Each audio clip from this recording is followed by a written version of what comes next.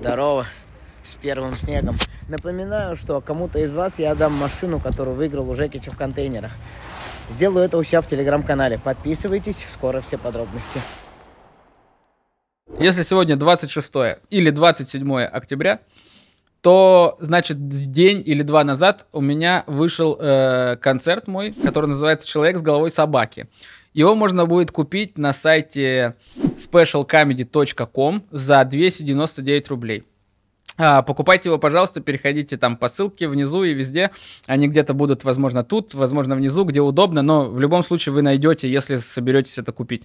А, переходите по ссылке, все очень просто оформляется, купить можно с любой картой и э, заграничной, и российской, стоит это 299 рублей. Почему в этот раз я его э, продаю? Есть видео на моем канале, можете там посмотреть. Но если коротко, YouTube э, все чаще ставит палки в колеса, и теперь, когда ты делаешь большие проекты, вроде как концерта, типа пишешь его год, потом монтируешь, вкладываешь деньги, а потом выкладываешь, и тебе э, место просмотров дарят желтую монету, и ты с ней потом сидишь. Не очень прикольно, поэтому теперь за деньги. Я думаю, что это справедливо. Три концерта я выложил бесплатно, вот четвертый, пожалуйста, купите. Э, буду рад. Я э, отобью э, деньги на съемку, отобью э, все остальное и буду жить э, припеваючи. Да ладно, не оправдывайся. Он, правда, заслуживает... Э, что, отобью, отобью. Просто ты, правда, заслуживаешь ну, этого. Вообще, ты, да. Правда, это, этого да, достоин. Да. Ты подарил э, нам, зрителям, очень много классных концертов и эмоций. Поэтому, да, переходите, покупайте. Это, как говорится, все, что в описании, купите. «Человек с головой собаки» называется концерт. А почему он так называется? Там, посмотрите, на первых же минутах сразу будет объяснение, почему э, так называется концерт.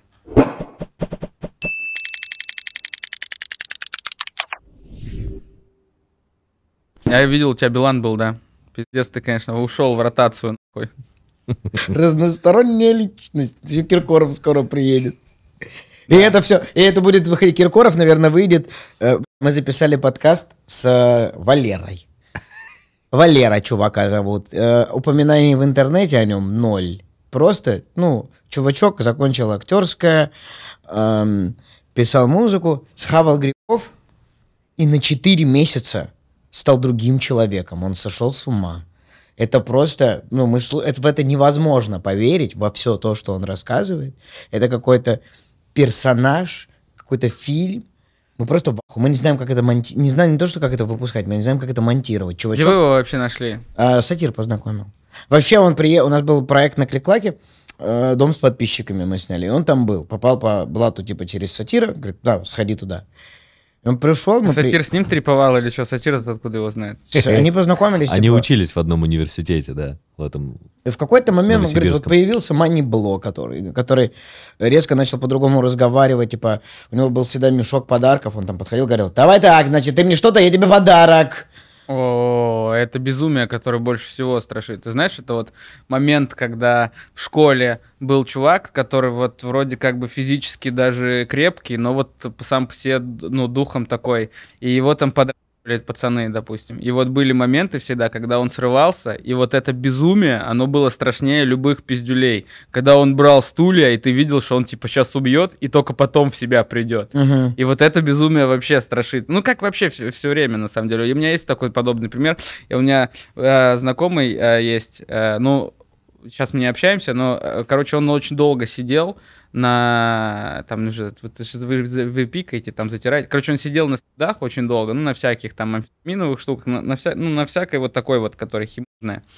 И он всегда был чувак, прикинь, то есть ему вот мы когда познакомились, мне было, может, лет 19, ему там 23. Он был, у него был какой-то в Якутске Марк 2 там какой-то там или что-то, он ездил на тачке, у него там, условно так, знаешь, чувак с пола с поднятым воротником. Он uh-huh. такой был, там что-то с телками туда-сюда, но он всегда знал, что сказать, он всегда был такой. И потом после этого он просто его, из... ну, то есть я вижу уже его инстаграм, где он такой, всем привет, сегодня мы будем завтракать. Ну и ты, и ты вот, ты когда с ним общаешься, ну то есть он, он адекватный, он все помнит, он э, тебя, ну, всех узнает. Ты говоришь, бля, Саня, а что такое? И он такой, чё? Я такой, да ну это же не ты. Он такой, да ты чё, блин, это я. И ты такой, нет, либо я сошел с ума, либо ты, я не понимаю. Здесь два варианта. И он пришел в себя? Не, я нет, нет. Ох. Ну, он, ну, типа, ну он так вот, я не знаю, куда-то съебал, что-то там где-то. Ему живет. повезло, он 4 месяца, за 4, он через 4 месяца все-таки пришел в себя, да, он сейчас в депрессии в глубокой находится. Но прикинь, какая должна быть серотониновая яма после 4 месяцев вот такого измененного Ну, сознания. это я думаю, что какой-то ПТСР уже даже, то есть это какой-то мозг уже дал какую-то травматическую реакцию, э, и сейчас ему будет тяжело, потому что он будет бояться, знаешь, то есть, возможно, он вообще навсегда бросит любые э, вещи, которые изменяют сознание, потому что ему будет теперь или нет? Нет. Нет. Нет? Ну, Вообще нет. ну, я бы боялся вообще. я бы тоже, я бы вообще ни к чему не прикасался.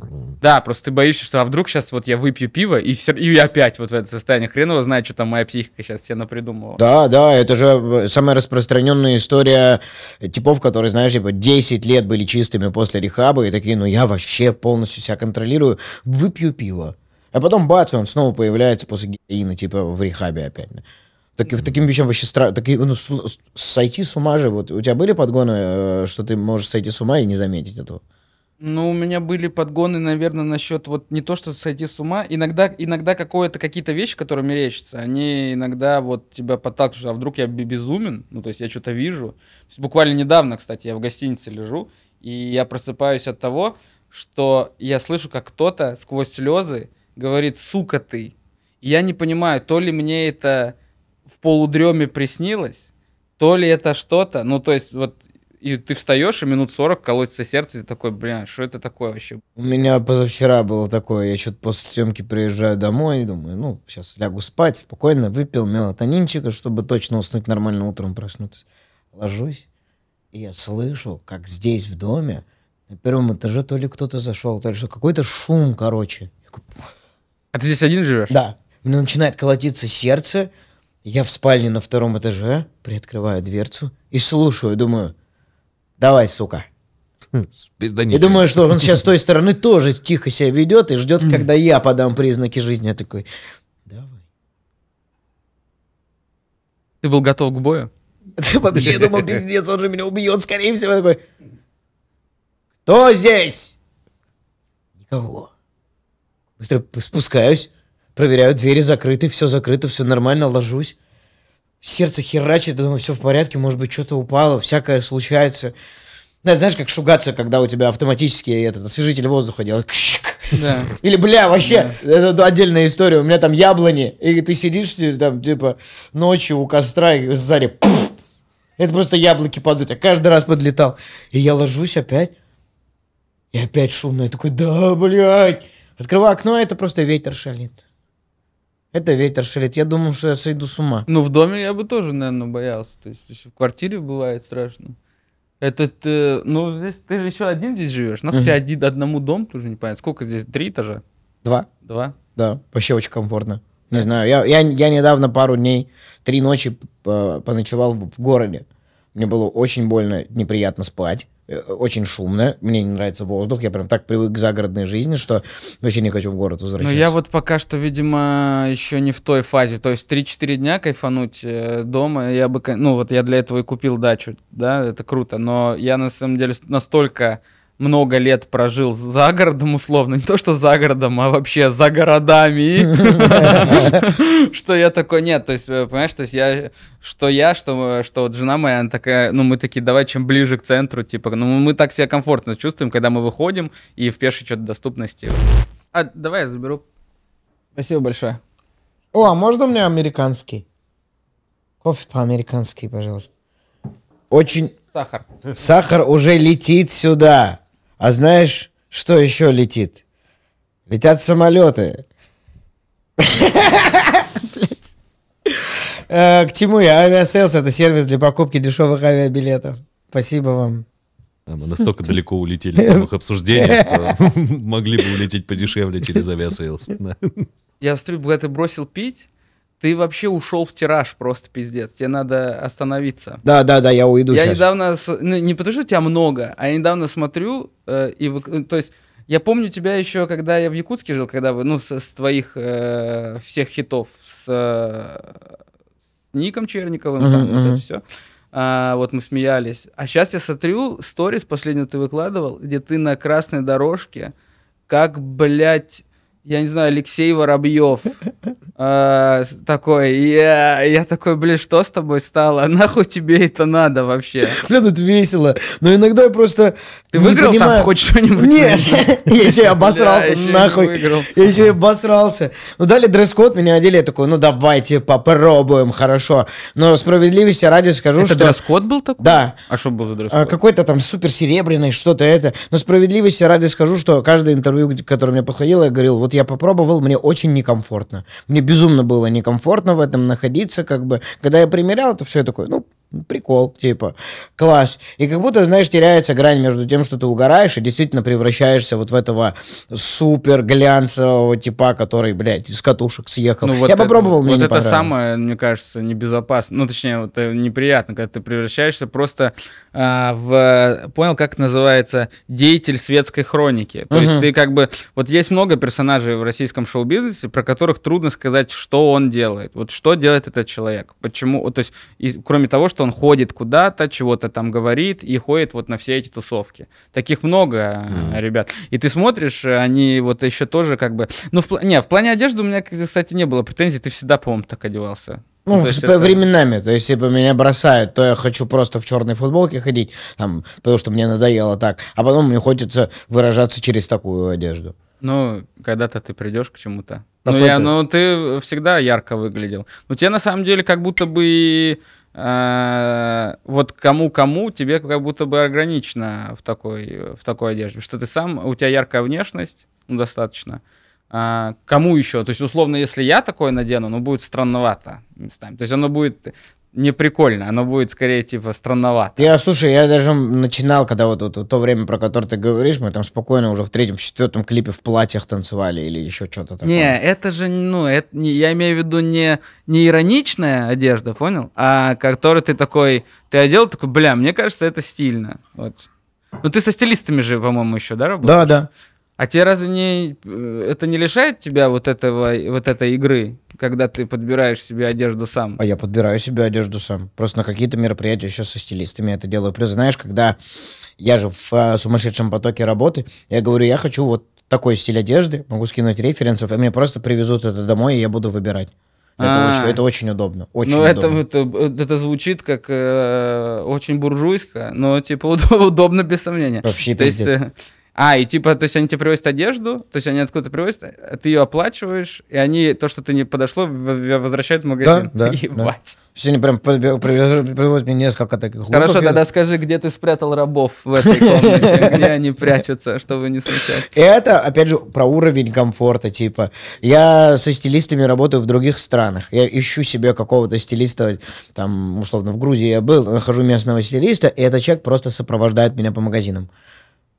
И это удобнее. Э, у меня там день на магазе, и меня водят по тем местам, в которые я бы не зашел, которые вне А, молов вот это находятся. да, вот это вот информативность, да, потому что зачастую, если тебе нужно а, какой-то в, э, ин- иностранный шопинг, ты зачастую пойдешь вообще в супер попсовые места, а вот вот эти прикольные эти ты Да. никогда не, их не найдешь. И опять же, просто. это про то, что у меня есть возможность соприкасаться с лучшими типами в, в, в этой вот культуре их и обмениваться опытом еще, потому что я не просто кукла для оде- одевайте на меня все, что хотите. У меня еще есть возможность с ними обмениваться опытом и чуть больше шарить. Ну да, концепт стора это да, интересная штука. Сейчас, потому что я вот бывал, вот ты знаешь, что в регионах России очень много, ну немного, ладно, но есть вот в Казани есть, допустим, я последний раз был, у них есть магазин Outpack и студия Слово, она сейчас открылась еще в Питере, они филиал открыли. Такие очень концептуально выверенные магазы. То есть они не берут там хайповые вещи и продают задорого, там с наценкой, а они вот берут что-то, что вот что-то вы- что-то вот, вот выбивается у них из, из их концепта, как они считают. Они Мгм. это не покупают. Вот условно, а, у них э, висит CP Company, а стоник не висит, потому что владелец считает, что стоник не вписывается в э, их концепцию. Прикольно. Типа, а вот CP Company, он почему-то там где-то, проч- ну, то есть, опять же, исходя из своей истории бренда, хотя, если я не ошибаюсь, Stone Island, по-моему, вообще была коллекция CP Company, потом переросла... Они для меня в одной вселенной находятся. Потом переросла в отдельный бренд, если я не ошибаюсь. По-моему, так, потому что там технологичность материала, что там, что там превалирует, и, по-моему, лекало тоже очень похоже. А что у тебя на толстовке написано? Акне. Акне Стадис? Студия. Это А, популярный Это бренд. стокгольмский бренд популярный, да. Это чуваки э, из Стокгольма, они у них абсолютно, э, то есть ты не, очень трудно сказать, что я поклонник э, конкретного, допустим, бренда, ну не конкретно я, а вот есть человек, да, Мгм. потому что я смотрю, что они делают, они, они выпускают, допустим, коллекцию вот таких вот э, свитшотов и худи базовых абсолютно, а следующее они выпустят какую-то марлю в дырку нахуй, Мгм. и ты такой, это что такое? Я думал, вы такие, они такие, не, и они каждый раз разные. Я был в Сингапуре у них в наш, они мне нравились, что я купил у них вот какие пару там каких-то вещей, и в Сингапуре я смотрю у них стационарный магазин, и я захожу и там все полная хуйня, ну то есть, ну не то, не полная хуйня, а супер экстравагантная, просто супер, там условно вот такие рукава, блядь, что-то все рваное, где-то фольга торчит, и я такой, блин, а где вот эти я что, другую какую-то хуйню купил? Или я паль какую-то купил? Почему, типа, я купил просто серое худи, а это что за хуйня? И мне там объяснили в магазине, типа, не, у нас просто разные есть. всё». М. Типа, у нас есть такое, есть такое, типа, вам вот... Такое у нас в стационарных магазинах не продается. Это вы там в концепт-сторах где-то найдете, а вот на стационарных магазинах здесь вот это все вот фольговое, вот это все. Я в свое время был фанатом Supreme, просто потому что они выпускают все на планете. Мгм, Э, мгм. То есть вот, вот теперь мы выпускаем шлем. А теперь Э, Это их мяч. фишка, типа, Да. делать, вот они каждый раз дропают что-то, вот, типа, спичек, там, вот у них там есть йо-йо, там... Палочки для такое, да. суши я видел. Ну, да. вообще, это же скейтерский, по-моему, бренд. Ну, первоначально вроде да. если уж говорить про смешные скейтерские бренды, есть такая, есть такая скейтерская команда, Писька Крю называется.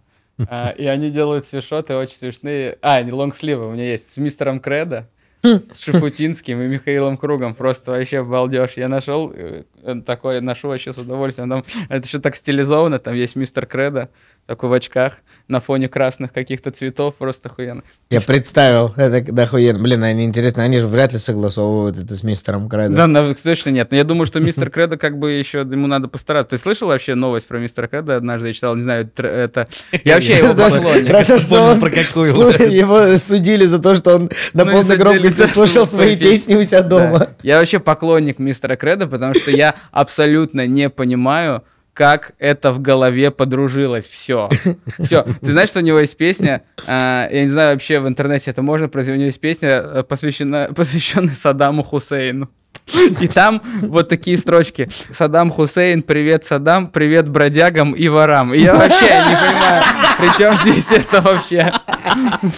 Ну, Саддам Хусейн был тоталитарный э, диктатор. И причем здесь бродяги Но и мистер воры. Кредо тоже выглядит как диктатор. Но причем как этот, знаешь, фактурный, как э, барон Коэновский диктатор. Вот он как будто писался с э, мистера Кредо в том Я вообще поклонник. У него есть некоторые песни такие вот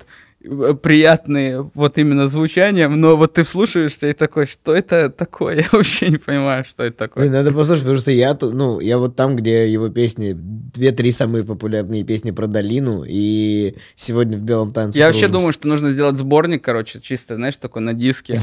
С это вот как э, Romantic Collection, только вот э, из нашего детства, потому что там есть десяток песен, вот этих, знаешь, типа эм, «В объятиях ночи, звезды сияние», вот это вот потом там да, «Почему же, почему же дожди», вот этих вот людей, которые написали абсолютные хиты, э, э, ну, всероссийские, и абсолютно исчезнувшие никуда. Курит не меньше, чем Винстон, пьет не меньше, чем Хольцин. Кто эти люди? Кто они все? Вот эти все, ну, дороже золота, естественно, в этот бенгер, который вот эти вот ребята написали. Потом что-то там еще было. А, вот это, э, типа, прости, мы не можем быть вместе. Вот это Телефонный разговор. да, да, да, да, да, да. Не проси ты меня, я не могу. Вот это вот, вот. Их с десяток, наверное, таких песен, если не больше.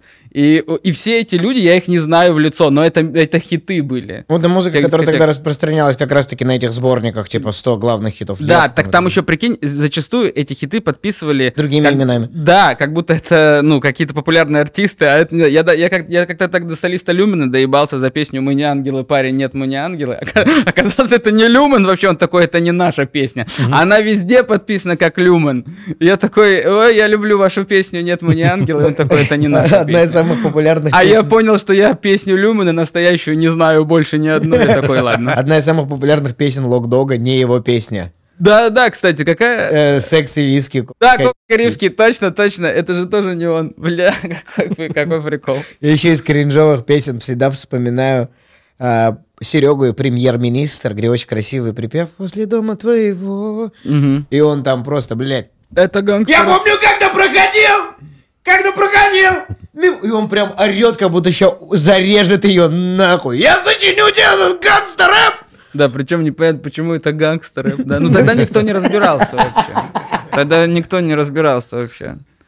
Блин, это, конечно, интересно. Во- Вообще мне нравится, мне нравится того, э, то Серегина то время, когда он был с э, Стимом, когда они были я рэп и другого не рэпа нет. Вообще я где-то вспоминал с кем-то, я не помню, но когда-то я помню Steam, вот они делали тусовку Агробобруйск, да. и у них был э, лонг-микс из кучи, там полчаса, по-моему, эта песня шла, и там куча талантливых типов записали свои кусочки.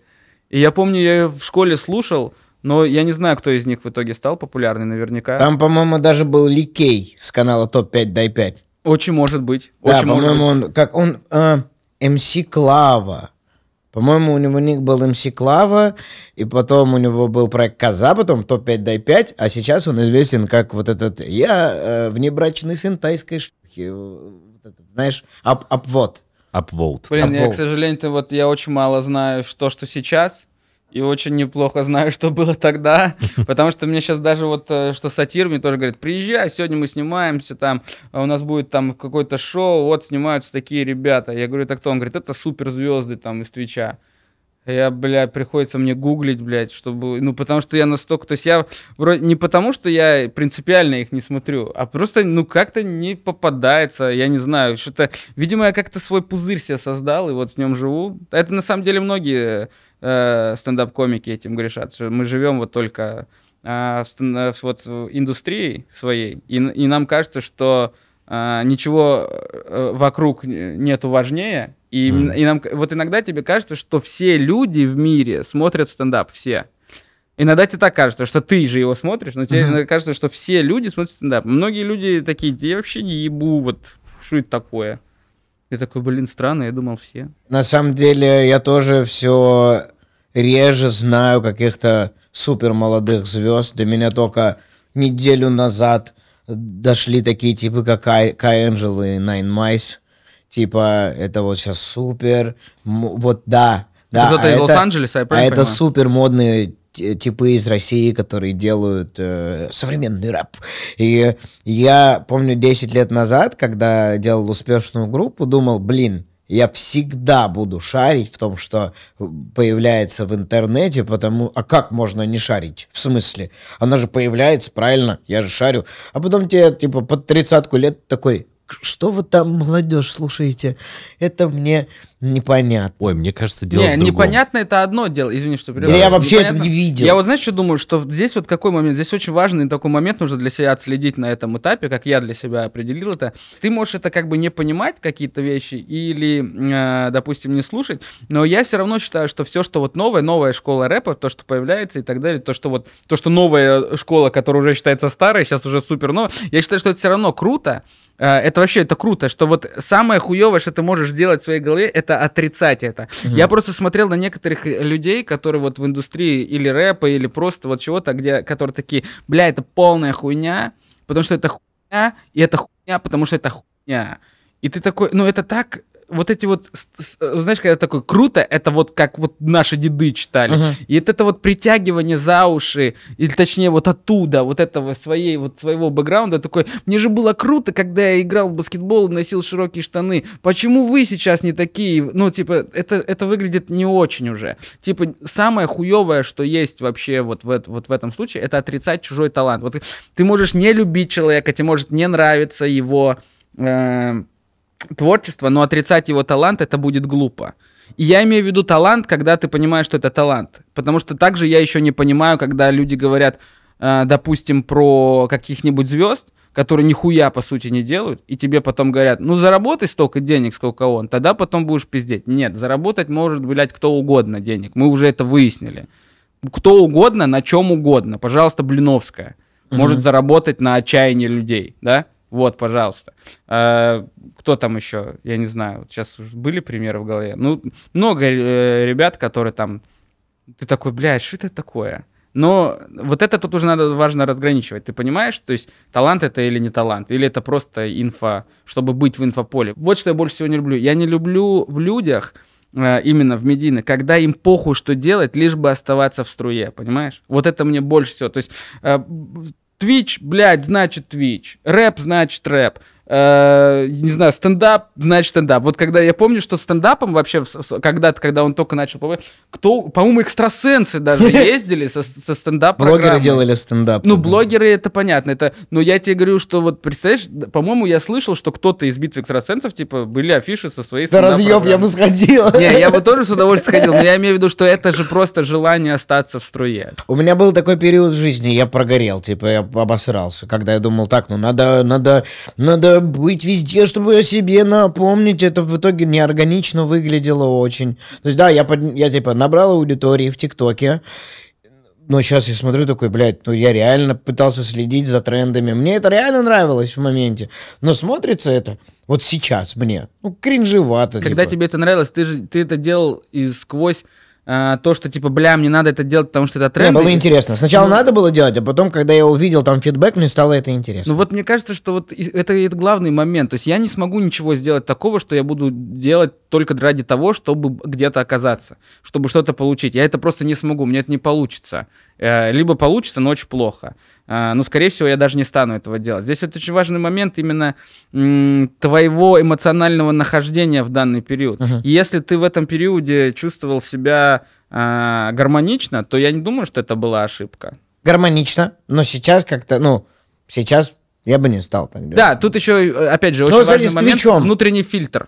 С Твичом. Я прекрасно понимаю, что Твич супер крутая тема, что он нужен. Это вообще лучшая площадка для сближения с аудиторией. Я люблю прямые эфиры, но я не хочу. Я не органично себя там чувствую. Я, я там пару раз попробовал еще до того, как Twitch э, прям супер стрельнул. Ну, это, это не мое, потому что этому надо уделять слишком много времени. А у меня есть другие вещи, которые мне больше нравятся. Я бы хотел э, быть на Твиче, ну, как гость, например. Как гость, пожалуйста, заниматься этим. Бля, ну, ну вот это, реально это еще эмоционально посвятить. тяжело. Я помню, на карантине стримил э, на Ютубе, не в Твиче, на Ютубе я стримил, наверное, раз пять или шесть. Я помню, что после каждого стрима у меня было четкое ощущение, как будто бы я... Вот у меня было такое ощущение усталости, как будто бы я... А, ты хочешь еще туда добавить? Бля, может не надо? Я сейчас я горю нахуй здесь сижу. Э, Первый человек, который в этом признался, а не просто сидел, смотрел, такой, блядь. Знал бы вообще, да, приехал бы в сеточке в своей любимой. Так вот, я, я, я себя чувствовал в ощущении, что вот такое у меня было состояние именно усталости, как будто, знаешь, я пьяный, вот я пьяный, и мы вот вышли на улицу после бара, вообще, mm-hmm. 3 часа ночи, и кто-то такой, а побежали до дома бегом, нахуй. И я вот, знаешь, когда ты пьяный, сделал физическую активность, и у тебя же руки потом трясутся, потому что там, блядь, такие перепады, и вот у меня после Твича почему-то было, ой, после вот прямых эфиров вот такое было ощущение, потому что, ну, видимо, я по неопытности еще хотел каждую паузу заполнить чтобы не было молчания. И, видимо, я сильно вот туда прям такой. Ну, конечно, конечно, это очень сильно отбирает силы. Я когда смотрю, как пацаны стримят, там, из хозяев, например, ну, это, это, наверное, искусство в мире стримов. Ну, типа, это прям крутой контент, подготовленный, когда они там заморачиваются, какие-то горки выстраивают, какие-то, что-то, какие-то штуки с машинами делают. Это реально запарная штука. То есть просто так залететь. Привет, сегодня я буду отвечать на вопросы, но так не хочется. Ну, так делают. Так делают. Я, ну, то есть, я, э, ну, то есть в любом случае, то есть так, э, так э, делают, и, и блоги до сих пор такие есть. То есть вот эти, сегодня я вам расскажу там, что мы там купили, что мы там это самое. Ну, блядь, тоже как бы... Подкаст самая вообще комфортная для меня среда, реально подкаст. Я здесь могу делать все, что я и в, в блогах мог делать, и любую информацию доносить там. Вообще. А я бросил, знаешь, у меня же был подкаст, я же вообще в самом начале, я бросил подкасты, когда я понял, что я, э, мне это больше не приносит какого-то интереса, удовольствия, я бросил и перестал ходить на подкасты. Вот я сейчас активизировался и хожу везде, потому что мне нужно прорекламировать свой концерт, но потом к этому вернемся. А так я понял, что с, с подкастами э, мне почему-то Я, а, ну, наверное, потому что я в свое время просто переходил на них. Мгм. То есть я помню, когда подкасты появились в стендап, у стендап-комиков, мы продол... это еще продолжается. Просто все вот так по кругу друг другу ходили. Я помню, что типа я ходил везде, и в какой-то момент я понял, что я все, ну, то есть я кончился, мне уже неинтересно ходить у на подкасты. Бухарова раз пять, наверное, был, да? Не, не, не Ну, не пять, пять, раза да. три. Раза три точно. Раза да. три у Вовы был, да, я был еще там на других снайперских К подкастах. Славе успел сходить? Славе Комиссаренко я первый был. Слава Комиссаренко, я открыл его канал. А, Вот. А так, э, да. Ну, то есть, здесь еще, тут еще в зависимости какой подкаст. То есть, я, вот, допустим, у Давида Квахаджилидзе есть подкаст, где в основном пиздят про стендап. Вот я могу, точнее... Это из-за того, что это все, что меня окружает, вся моя жизнь, типа, я могу про это часами говорить, особенно если это какие-то внутрики. Я недавно понял вообще, что я вообще не способен жить вне этого контекста. То есть, у меня, когда выходные... э, Я понял, что у меня, когда в туре выходные, э, если это город, где есть стендап-клуб, я иду в стендап-клуб, потому что я больше ничего э, знаю, что мне делать, ничего, грубо говоря, и не получаю удовольствия. То есть я начинаю отдыхать, когда я выхожу на сцену в клубе и не рассказываю свою основную программу, а что-то новое катаю, я Мгм. тогда начинаю, вот я реально отдыхаю. Вот я реально в Москве, мой любимый вид отдыха, это 2-3 раза в день ходить на Хм. э, проверочные концерты какие-то, open майки. Я вот так отдыхаю. Я не знаю, то есть я люблю э, вот такую пассивную историю. Либо вот так вот, э, либо там ходить куда-то там мы с женой ходим там в магазин куда-то или там э, какое-то кафе там, я не знаю, Мгм. собаку куда-то отвезти там или с ребенком где-то время провести. Но именно вот конкретно эстетическое удовольствие я вот получаю, когда вот хожу. Мне очень нравится перемещаться, знаешь, то есть я, я как будто до сих пор не могу наесться этой Москвой, что я до сих пор, то есть мне очень нравится прийти на микрофон, выступить, и потом куда-то ехать, и я вот так провожу вечер, типа. Очень сложно в конце вечера не выпить, кстати, потому что Мгм. думаешь, я столько сегодня сделал, надо выпить, расслабиться. А что ты вообще на Ютубе смотришь? Вот ты, ты говоришь, что... Стендап. Не, Не, ну, на по- стендап я не смотрю, ну, кстати. может, у тебя есть какие-то там, не знаю... На вот стендап я смотрю с точки зрения уже именно с, с- с рабочей. Ну, то есть я смотрю, Мгм. то есть я с- э, с- держу руку на пульсе условно, я смотрю, что выходит там, смотрю, что выходит у ребят здесь. То есть я всегда смотрю, то есть э, э, отмечаю для себя какие-то моменты, что вот тут так делают, тут так делают. А так на ютубе для развлечения что я смотрю? Раньше я смотрел контент поп ММА, сейчас перестал уже смотреть. А, ну, раньше я следил прям, что там, кто там, кто там, кого там и как они там дерутся. Сейчас я смотрю, так я посмотрю, что э, интересно. А, мне нравится, так, ну это все. Мне нравится черный кабинет. Вот э, э, есть такой канал, знаете? Я слышал, но так и не посмотрел. Он, э, человек, э, который ведет этот канал, отучился, по-моему, если не ошибаюсь, э, то ли в Америке, то ли где, на режиссера. Очень хорошо разбирается в кино, очень хорошо разбирается в подсмыслах этого кино. И не Мгм. только кино, еще там аниме он разбирает. А, мне очень нравится. Еще мне нравится правое по- полушарие интроверта. интроверта, Там да. вообще есть э, Я просто вот купил эти- у них подписку на лекции. М, Много я, кстати, смотрю про одежду и обувь, потому что мне это нравится, я э, стараюсь, ну, э, со своей колокольни, то есть не прям какой-то high fashion, но именно то, что меня интересует, какой сегмент, я стараюсь смотреть, что там где выходит. Ты по что стриту если- больше? Ну, наверное, больше да. Наверное, больше да, даже если это какая-то классика, то это скорее, ну, какой, что это скорее тоже приближено к такому больше расслабленному стилю. Ну, плюс ко всему я э, коллекционирую же кроссовки, и поэтому вот смотрю, что там где выходит, какие там, там же постоянно какие-то дизайны. Если вот э, интересно мне смотреть именно про дизайнеров, Мгм. вот что они там вкладывают, там и так далее. Вот недавно смотрел про историю про есть такой турецкий бренд Les Benjamin, знаешь? Л- Да, Бенджаминс, Ну, короче. самый большой турецкий стритвер бренд. Вот я про них смотрел, что они там куда что вкладывали, зачем и так далее. Вот с, с российскими ребятами тоже стараюсь там с- с- как-то общаться. Тебе нравятся российские? Да, у меня много. У меня сейчас много. Э, Появляются вообще талантливые Они чуваки. появляются, они и были, мне кажется, как только поуходили бренды из России, ну, типа, стало... ст- Акцент сместился на русские бренды, и реально очень много. Red September сейчас я последний. О, да, да, они очень клевые. Red September, у меня несколько курточек. Блин, я даже не помню названия брендов, но у меня прямо курточки, и штанишки, и всякие вот эти карго, до хера всего. Ну вот, то есть последнее, то, что я посмотрел, Red September очень э, концептуально делает. Из базы могу посоветовать воронежских ребят «Заряд». Мгм. Они, у них вот именно, что касается базы, футболки, это у Мгм. них очень... Вот мне очень нравится, и крой мне нравится. Ну, тут еще как, как каждый как на ком сидит, но, типа, мне очень нравится, что у них и материал хороший, и крой хороший. И, ну, он такой, то есть... Не... То есть сейчас все равно, говорив про базу, а, ну если говорить про масс-маркет, наверное, российский, то сейчас, конечно, появился определенный лидер, это я четко для себя понял. Сначала я очень скептически к ним относился, но потом я понял, что это точно лидер среди всего российского масс-маркета э, базового. Это Лайм. Лайм, ага. Это все. Я, пос- я, я- У них я- очень классный футбол. я вчера, я сначала с ними работала, делал им рекламу, но сейчас я говорю даже уже не потому, что они мне заплатили. Я вчера был у них в магазине. Э, Это реально, ну, из всего того, что может предложить э, сегмент, это, то есть, да, понятно, почему там э, выше, чем было в Uniqlo. Ну, очевидно, разные масштабы. Но если мы говорим про российскую замену Uniqlo, Just Closes, то это вообще, Мгм. блядь, ну ни в какие ворота абсолютно. У меня вот все белые футболки от них, наверное, они прям приятненькие. Лайм? Да. Причем у них есть белые футболки разных материалов. То есть Мгм. есть поплотнее, поменьше, по есть вот этот вот э, материал Элризм, который Uniqlo использовали в своей э, линейке. Типа Ю. продуваемая очень хорошо. Ну да? такая, да, она еще и не мнется. Вообще классная, классная штука.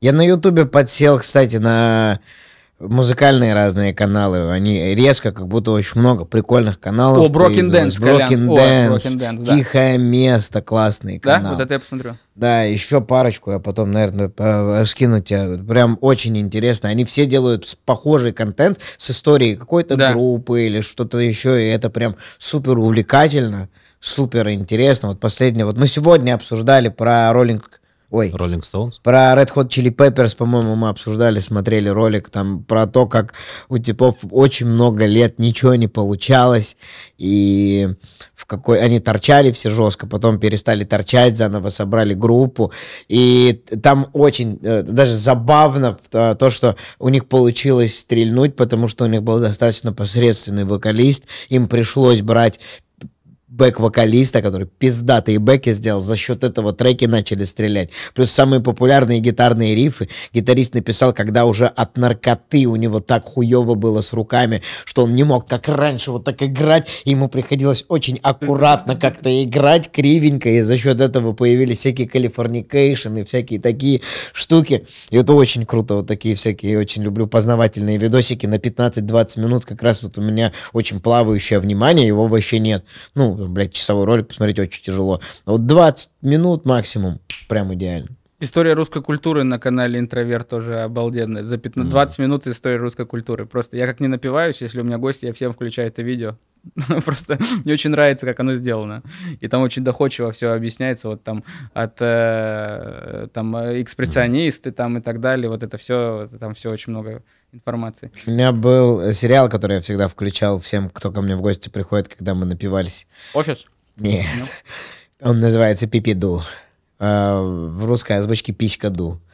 Это самая странная хуйня, которую я видел. Короче, э, мне, поставили, мне поставили на проектор этот кинопаб приложение. Бля, как, мне тоже надо как-то И я захожу в раздел эротика. Они вынудили, они вынудили нас. Я они зах- вынудили. захожу, ну да, да, что поделать.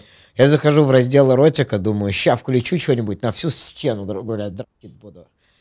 Включаю там какой-то мультик, думаю, что за хуйня, какая-то дичь. Включаю это, познавательный мультик, там, не знаю, про про месячные, А. про простату. И они- у них подача очень детская, но при этом то, что они там говорят и делают, это такая грязь, такая жуть. Там в, в первой серии, по-моему, э, Писькаду идет, встречает крольчиху, говорит, почему вы такая грустная? Она такая, о, кто-то украл все овощи. Говорит, Мы найдем его. Хм, у него была белая шерсть. А рядом стоит ее муж вот так. И у него из жопы начинают вылетать эти ебаные овощи. Появляется... У них там есть э, мадам Киска, такая сисястая кошка, которая объясняет, что как работает. И начинает рассказывать про симуляцию простаты.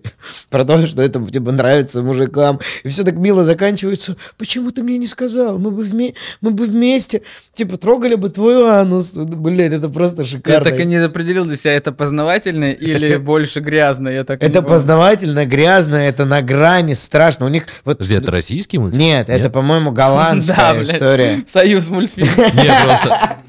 В 90-х помню, что это такое, да, в детстве. Это, это я вот реально настоятельно рекомендую вообще всем посмотреть. Там серия по 4 минуты типа. И вот они все грязные, и есть одна, где вначале предупреждают, если вы впечатлительная или беременная женщина, лучше это не смотрите, там такой пиздец, а про Октоберфест серия супер крутая. Что я просто обожаю вот такие вещи, знаешь, где соединяется не, не- не то, что нельзя соединить. Детский познавательный мультфильм вот такой. Я не думаю, что он познавательный детский. Я думаю, что это какой-то угар вообще. Детский. чистый. Ну, знаешь, как, как условно у Ильича был Гафи Гав, Мгм. Там же э, сеттинг детские передачи, но про всякие взрослые штуки рассказывают. Там коррупция, еще что-то. Вот здесь та же самая, но это вообще, типа, даже Happy Tree Friends милый мультик по сравнению с этим. Вообще просто как грязь. Я не понял, я так и не понял, ты рекомендуешь? Да, или- очень сильно, очень сильно. Если Ну. Я помню это странное ощущение, когда я ребенком показывал какому-то взрослому папиному другу, смотрите, Happy Tree Friends. Он сначала смотрит скептически, а потом, когда начинается мясо, он просто в голос ржать, как просто, как демон. Я думаю, все, заебись со вкусом у меня. Нормальные типы оценили. У тебя есть любимый район в Москве? Э, да, я думаю, да. Мне очень нравятся чистые пруды, я, собственно, поэтому там э, сейчас и обитаю. Э, и мне очень нравится ЦСКА, потому что мне очень нравится мой любимый парк Ходынское поле, Мгм. напротив Мгм. авиапарка. Я последние годы жил, вообще все время, сколько я живу в Москве после Питера, я жил на Динамо и на 905 года. Вот 905 года очень нравится. Это такой тихий очень центр, все близко. Я еще жил, знаешь, сначала в пятиэтажном доме, потом в трехэтажном доме, и было ощущение, что я вроде в городе, а вроде не в городе. Мне тоже очень нравится 905, кстати, вот Пресня, вообще хороший район. А, Я вот тут тоже рассматриваю его, там, чтобы там остановиться навсегда. Я вообще, на самом деле, вот я вообще Москву очень сильно люблю. Вот очень сильно. Я, я, вот хочешь веришь, хочешь нет. Но я помню, короче, мы когда переезжали, я вот детально даже помню, как это. Я помню, мы переехали вот с женой вдвоем. У нас было два чемодана и коробка с мультиваркой, которую мы в кредит взяли еще в Якутске, когда были. А, И мы переехали вот с двумя чемоданами, коробкой мультиварки. И я вот помню, что эту мультиварку еще, кстати, э, она упала с ленты, и мы ее там ждали, уже все ушли, а мы ждали, и потом походили, разбирались, где она, ее кто-то там пнули, блядь, грузчики, ее потом нам доставали отдельно. Эту мультиварку нам выносили вообще в итоге менты, потому что она э, закатилась туда, где гражданских не должно быть, там могут быть только сотрудники полиции и сотрудники безопасности. Она куда-то туда закатилась, и ее потом, вот мы там стояли, ты прикинь, мы там стояли часа полтора, мы такие, где наша мультиварка? Отдай. Они ее, нам их так заебали, что они ее нашли нам, а мы ее э, выносили. И я вот помню, мы вышли, я вышел с этой, блядь, бедовой мультиваркой, с чемоданом, и я вышел, по-моему, то ли в Домодедово, то ли во Внуково, я не помню. Я четким ощущением, я понял, что я вернулся домой как будто. Мгм. Хотя я никогда там не жил в Москве, никогда. То есть у меня было ощущение, что я вернулся домой. И, ну, это не первый, естественно, мой раз был приезд в Москву, но все равно, то есть я такой вот, я понял, что у нас нет обратного билета, и я такой, наконец-то, сколько я скитался. Потому что, к сожалению, я себя никогда не чувствовал а, в своей тарелке там, где я жил. Сначала я жил там а, в депутатском 17 лет, ну там, понятно, как бы это немножко было маскировано, потому что школа, первая влюбленность и так далее, все равно какими-то такими вещами забивается голова. Но, опять же, повторюсь, каких-то теплых э, ностальгических ощущений, вот бы мне вернуться в детство, вот бы мне, мне таких нету. Я, ну, опять же, не из людей, которые обладает э, таким локальным патриотизмом. Ну, то есть, э, если я... Мне, мне там, я был там несчастлив, это сто процентов. И... Это ты в сравнении понимаешь или еще тогда? Еще тогда я понимал. Я Ага. всегда понимал, что я там несчастлив. Я и, и вот сколько я прожил в Якутске, я тоже не был счастлив там никогда вообще. Я, то есть я все время, э, я все время хотел уехать, но вот когда уехал, я такой, вот я, я, и вот мы сразу настолько комфортно я себя здесь почувствовал, что да, столько, мне даже вот друзья там говорили, типа, нахуй тебе туда ехать, что там будешь делать, со своим стендапом, там таких куча, там и так далее, и так далее. Ну, было много. Но я вот это вообще даже никогда не сомневался, что я приехал, мы, э, вот эта квартира и все такое, мы через два дня сняли квартиру, через два дня в Жулебино мы сняли квартиру маленькую, вот прожили там три года, у меня там, или два, у меня там дочка в школу пошла в первый класс в Жулебино, мы жили вот втроем в однушке, вообще, сейчас вспоминаем просто с, с упоением эти дни. Потому что я помню, как мы ходили еще телевизор брать в кредит, блядь, потому что там нам надо было телевизор и что-то такое. Потом как я MacBook себе брал в кредит, потому что решил там чем-то заниматься, что-то там... Я тогда еще не, не понимал, что MacBook для монтажа не может быть с названием Air. Да. В те годы, да, сейчас уже... Ну, тогда мне казалось, Сейчас уже можно. раз это MacBook, значит, э, значит, он должен. Ну, короче, вот такое. Там я же записывал свои первые подкасты, вот это на кухне я все делал. И вот это я вспоминаю с, вот с, с упоением. А всю свою жизнь до 22 лет вообще ни, ни одного воспоминания нет у меня, чтобы я такой... Вот бы такой вот повторить такое ощущение. Вообще все это было. Плюс ко всему там было три года моей, э, три или, наверное, года, да, моей жизни были в абсолютном мраке. То есть там, когда я уже думал, что все, вот я и пришел к тому, а, на, на что меня указывали всегда мои учителя. Вот ты загнешься, сопьешься там, с, наркоманишься и так далее. И вот я вот по три года моей жизни протекали таким образом, что я вот просыпался там условно, в поту там через полтора часа после того, как лег спать, потому что спать не могу. Я такой, ну, походу, блядь. И я, знаешь, что я вспоминаю? Я лежу, короче, мы снимали квартиру с корешем. Вот он лежит пьяный, э, спит, мы оба были пьяны, а я лежу, вот я встал, по, по- ну, ты знаешь, что такое состояние, даже не буду его проговаривать, когда ты лег спать с трудом, уснул, проснулся через полтора часа и Ага. понимаешь, что, ну, не получится тебе обмануть э, систему. Система работает, как она должна работать. Тебе очень плохо, тебе очень страшно, ты понимаешь, что это яма, ты, пон- ты понимаешь, что ближайшие твои а, 18-20 часов пройдут таким образом, если ты не а, еще раз не упоришься условно. А, И я вот помню, э, и, и ты сидишь там, а какие нужно пол там четвертого утра, там был такой телевизор э, небольшой, и он был такой с рябью, он был, там насколько был выгоренный кинескоп, что он был зеленый, там все было зеленое. И я вот так сидел в такой темноте, слушал, как, слышал, как сопит мой пьяный кореш, и я смотрел Comedy Battle. И я вот смотрел вот это, и там люди нарядные, в красных штанах, понял? Они там что-то, блядь, в синих майках, что-то там, вот мы дуэт такие, а это я, стендапер Бибришвили, там, или кто-то еще. И я смотрю, и они все нарядные, этот Павел Воля там танцует, там пока, вот это, вот эта глянцевость. И я сижу вот в это, а я сижу на дне буквально в своих ощущениях, просто я оттуда вот так смотрю, вот туда, и там они все, вот я как в яме, а они вот там играют. И я такой, я хотел бы с вами поиграть.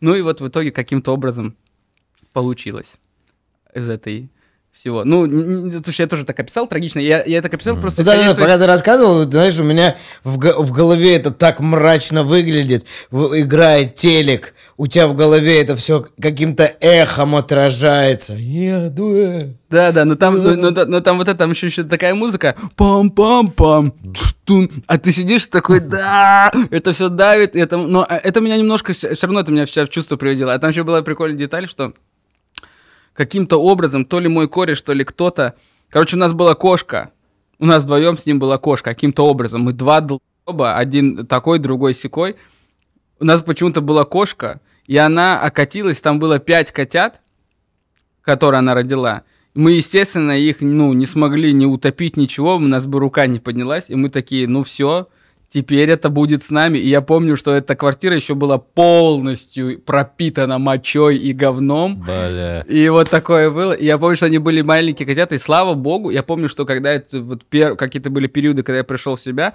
они еще были маленькие.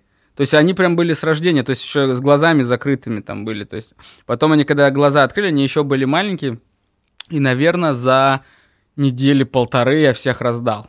Вот я прям, я, я, такой, я прям, я заебал всех вообще. Пожалуйста, заберите. Что я такой, блин, я просто не просну, ну, я не смогу вообще, как я, э, вот когда слушаю, что вот бабушки, дедушки, они так проще, когда они такие, ну вот, грех, а я не могу вообще, мне страшно. Это не сразу, кстати, ко мне пришло. Я очень долго был хладнокровный к животным. Очень долго. Что у нас в деревне к животным относились как к животным. М. Животное, блядь, это отсюда.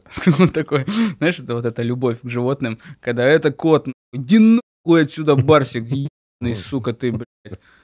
Вот это вот, ты Блин. такой не понимаешь, зачем вы его вообще завели? Вот и мне интересно узнать вот эта точка, где вот ты просто на, на дне, чё произошло, вот когда щелкнул, ты подумал, ну нахуй, ну, А, что-то меня. А, ну, это я точно помню. Мне просто стало... Я такой достаточно впечатлительный человек сам по себе. И если что-то со мной происходит, особенно какие-то резкие эмоциональные такие штуки, то есть мне гораздо проще, э, знаешь, самоуничтожиться, когда эмоциональный мой фон достаточно ровный. Ну, то есть, условно, если вот я могу спиться, если это будет эмоционально без качель. То есть я просыпаюсь, выпиваю, то есть... Но если что-то произойдет, допустим, со мной в этот момент, эмоционально или со здоровьем, и я резко из- испугаюсь из-за этого, вот это будет толчком. То есть если, если я могу с, вот с, а, с точки А в точку Б прийти вот так вот пьяным ровно, я, скорее всего, так и приду. И поэтому я просто помню, что я испугался сильно. То есть я сначала начал падать в обморок, сначала один раз упал в обморок, потом я начал, э, э, потом второй раз, а потом я понял, что это происходит несколько раз в день. То есть я начинаю, то есть я начинаю падать в обморок туда-сюда, у меня потом что-то там кровь из носа какая-то, сюда руки трясутся, все, постоянно руки, ноги холодные и так далее, было такое состояние. И это вот ну, синдром отмены, естественно, был, когда я вот я, когда я начал падать в обморок, естественно, я все побросал сразу. И, естественно, там синдром отмены влупил такой, что я вообще, это, слава богу, я еще был очень молод. Я там вообще, ну, если бы в 30, это я бы, ну, я, ну, точно бы не выдержал самостоятельно. А тут я как бы самостоятельно. Ну, я еще пошел сразу к врачу. Сначала я пошел просто к терапевту, ну, объяснить, что происходит. Что я падаю в обморок. Он там померил давление, взял анализ крови и так далее. Потом там такой хороший мужик был взрослый, он такой. э, Он мне сказал, «Э, сам будешь сдаваться или еще по это самое, ну, по вопросов тебе позадаю. Ну, я сразу понял, что он имеет в виду. Я такой, ну, да, да. Он, я говорю, так, так и так. Он такой, ну, надо тогда вот э, полежать. Я такой, да вообще не вопрос. Он такой, ты молод, типа, не переживай, все в порядке, типа, очень быстро. И я там, если честно, полежал, там, по-моему, недели полторы, может быть. И все, они меня там это, я вышел, ну, просто меня какие-то капельницы ставили, все такое. То есть у меня даже, ну, про психотерапию тогда вообще ни- никакой речи не Типа было. детокс просто. Там и детокс был, и витамины. У меня еще обостри... То есть э, как болячки, которые у меня спали, обострились.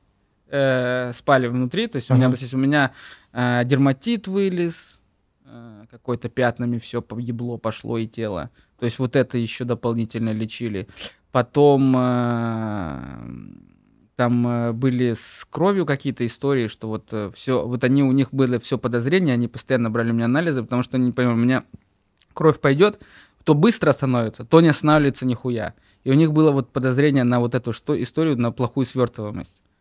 Но потом в итоге ее исключили. Ну, вот это не вот это лечили. Ну и вот, да, и какие-то витамины и так далее. Я там выспался. Я четко помню, как я проснулся. э, я, я, я такого яркого, осознанного а, желания м, не испытывал никогда, наверное. Знаешь, когда ты просыпаешься, и ты точно понимаешь, что конкретно ты хочешь. Я помню, я просыпаюсь, и я четко понимаю, почему-то я сильно хочу Твикс.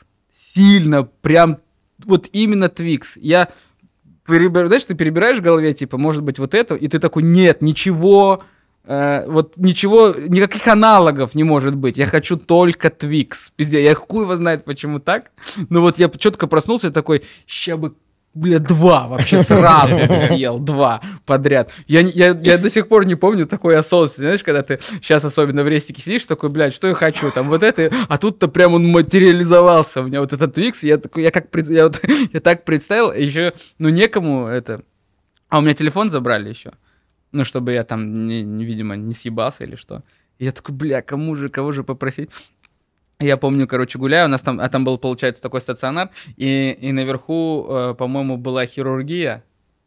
Э, по-моему, да, потому что я ходил курить на лестничную клетку, там можно было курить. И я, это самое, выхожу на эту лестничную клетку, и там стоит мой знакомый, который приехал туда с ножевым. Э, И он уже перебинтованный, тоже курит, стоит. Я ему говорю, бля, у тебя есть телефон, попроси, чтобы кто-нибудь Твикс привез. Я ебать, я сейчас все деньги мира отдам, все, которые у меня остались. Ну, он в итоге позвонил, но не, не в этот день, а на следующий привезли. Ну, вот это я э, помню, что такое, знаешь, я не знаю, что это за ощущение, но я просто, я почему его вспомнил, что оно было очень яркое. То есть очень ярко. Не знаю, с чем это связано. Могу понять прекрасно. Каждое утро просыпаюсь, Твикс хочу. Не, знаешь, охуенно проснуться. А- а- осознанность клевая тема. Вот после каких-то бесконечных пьянок. Я понимаю, что я, наверное, всех заебал об этом рассказывать. Просто я, ну, я не помнил себя трезвым вообще несколько лет. Я много лет всегда был либо бухой, либо накуренный, либо еще что-нибудь. Просто подряд. Либо, либо с утра, либо под вечер. Ну, каждый день на протяжении нескольких лет. Я помню, как я удивлялся, когда я, типа, два дня не пил ничего или не курил. Два дня, нахуй. Клевый полгода, клево начал год, блядь. Февраль, а я дважды не бухнул. И сейчас вообще, как будто, знаешь, заново ходить учусь просто. Ну, это вот это, это хорошо, на самом деле. Я вообще, на самом деле, с большим уважением отношусь э, ко всем людям, которые вот так бросают пить. Я сейчас... Сколько ты уже не пьешь? Пять месяцев. Ну, это вообще круто. И я думаю, что ты вообще уже нав- э, навряд ли вернешься к такому. Не-не-не, нельзя так говорить. Ну, Ну, а, я понял, понял, ладно, я понял. Не, Ну, ну я- в том плане, это даже не психологическая штука. Просто я понимаю, что когда-нибудь я бы хотел там побухивать. Но просто я знаю эту динамику. Короче, у меня так с ракой было. Ты запойный, короче. Да, ну, я просто... Смотри, у меня так было, во-первых, с алкоголем, когда я такой, все, я научился. Ты выпиваешь раз в недельку такой, ну заебись в целом. Дв- а, даже раз в две недели, потом раз в неделю, потом два раза в неделю, потом три. И у тебя динамика просто вот, э, там, там начинается геометрическая прогрессия. И вот ты уже опять каждый день, неважно, по чуть-чуть или нет, но каждый день. С э, у меня то же самое было, когда я такой, типа, ну, я же, ну, не это давно пройденный этап. Я знаю, что это меня приведет в ад, я не буду. И тут опять начинается эта геометрическая прогрессия. Ко мне все зависимости, блядь, вот так липнут. Я недавно бросил курить, я опять нахуй начал курить. Просто на съемках. Что-то кто-то ашкудишку курит, и такой, блядь, дай мне одну, что-то я перенервничал. И вот я не заметил, как я опять, блядь, вот в никотиновых пластырях хожу. Ну, типа, а, я супер аддиктивный человек. М, ну, я понимаю, на самом деле, о чем ты говоришь, потому что у меня с, алко- э, с алкашкой такая же история. Благо, что я не подвержен никаким другим зависимостям, то есть меня абсолютно равнодушен к допустим. Ну и с другими вещами я тоже как-то сильно вот видишь, испугался и больше к этому не... Но с алкашкой у меня подобная история. То есть я сейчас... Почему так с уважением отношусь ко всем людям, которые держат такую большую паузу? Потому что я сейчас как раз на этапе, когда я такой... Блядь, 9 дней я не пил. Вот это да. Отмечайся, кстати, очень помогает, когда ты видишь перед глазами. Ну, то есть у меня были моменты, когда я вот-вот думал, ну, можно, ладно, сейчас бухну. Потом я смотрю, у меня 120 дней, думаю, и что, завтра это превратится в ноль? Ноль. Мгм. У, не, и это пи, это вот такая мелочь, просто галочку в конце дня там в тик-тике каком-нибудь поставить. Но это так помогает вообще. Я просто...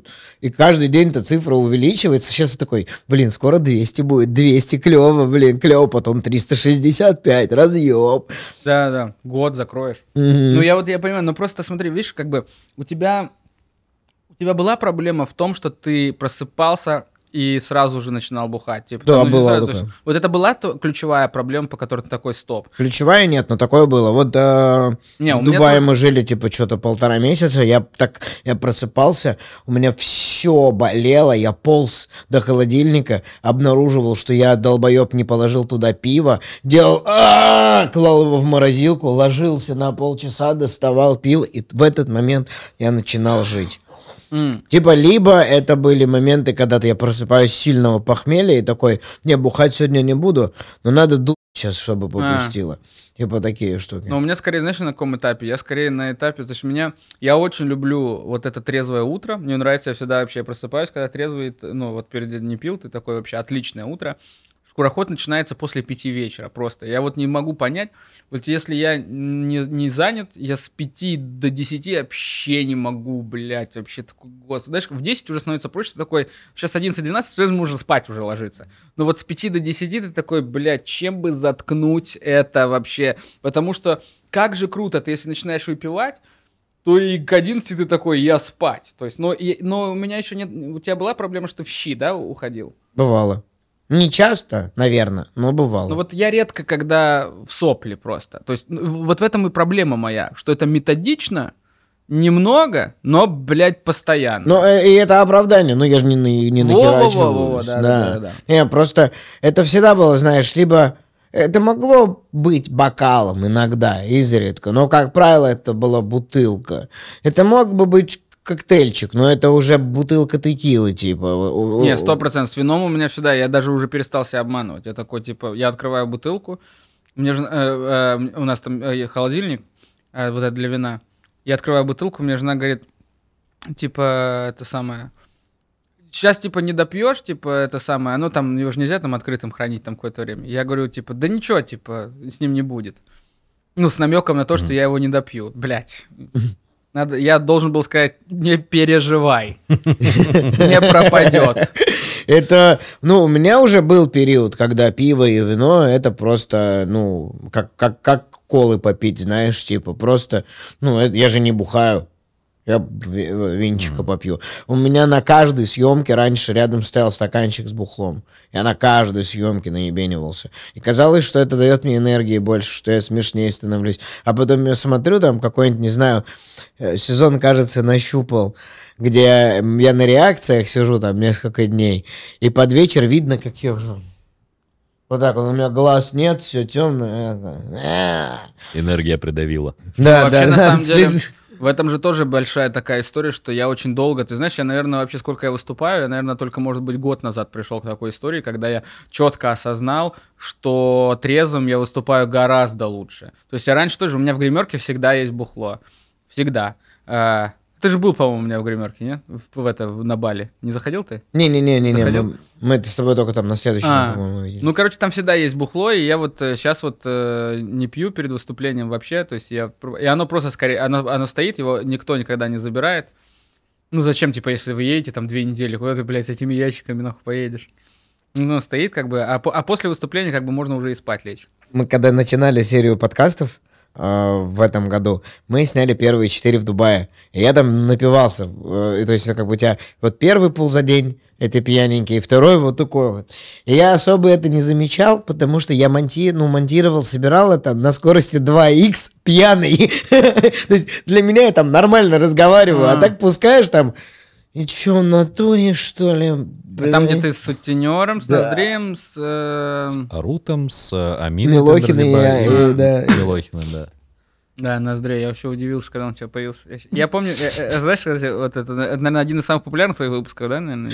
Ну, это Да. наш магнум опус по Ну вот э, я просто помню, я давно знаю Андрея, и я помню, короче, как-то мне Андрей пишет, здорово, Серега, приезжай там завтра туда-то, туда-то, э, там э, мы будем там, э, там будет тусовка, мы будем с Моргином там клип снимать.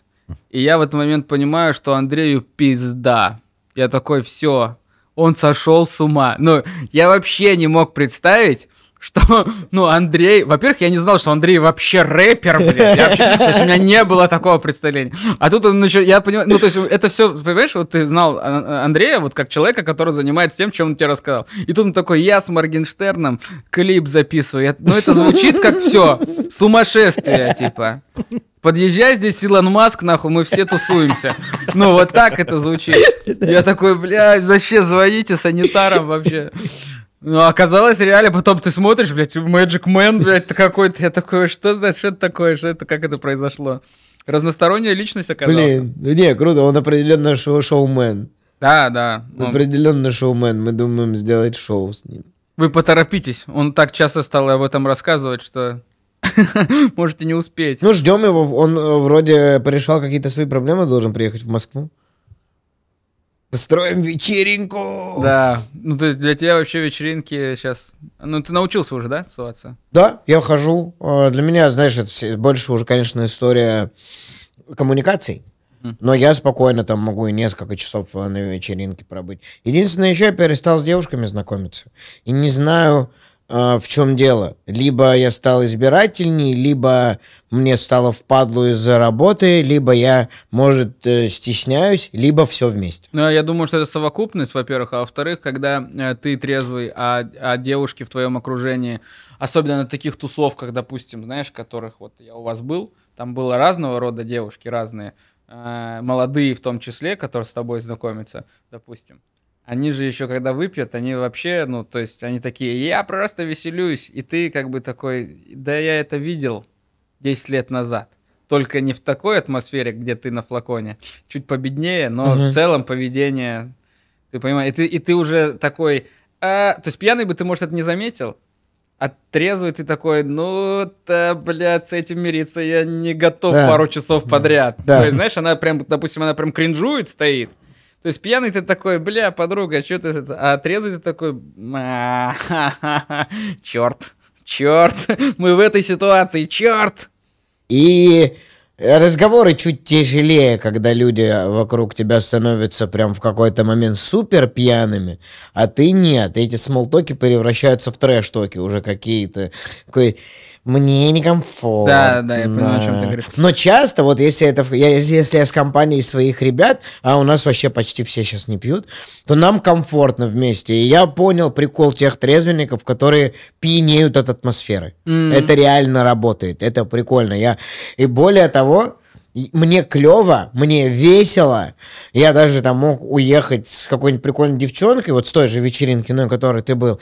И при этом мне утром охуенно. Во, вот это, мне кажется, самая классная штука, когда ты, ты считаешь, это как награду вообще, я думаю, как медаль себе вешаешь, когда ты уходишь с вечеринки. У меня такое редко, правда, бывало, когда ты уходишь такой, ля, я иду трезвый, я иду трезвый, и завтра я так же, как и все, живу. Потому что нет ничего хуже, когда ты просыпаешься такой, все, я проебал этот день. Особенно, я, это ладно, сейчас еще бывает такое, я просыпаюсь там в два с похмелья, бывает. Такой, блядь, пока раскачаюсь и так далее, но день там не теряю.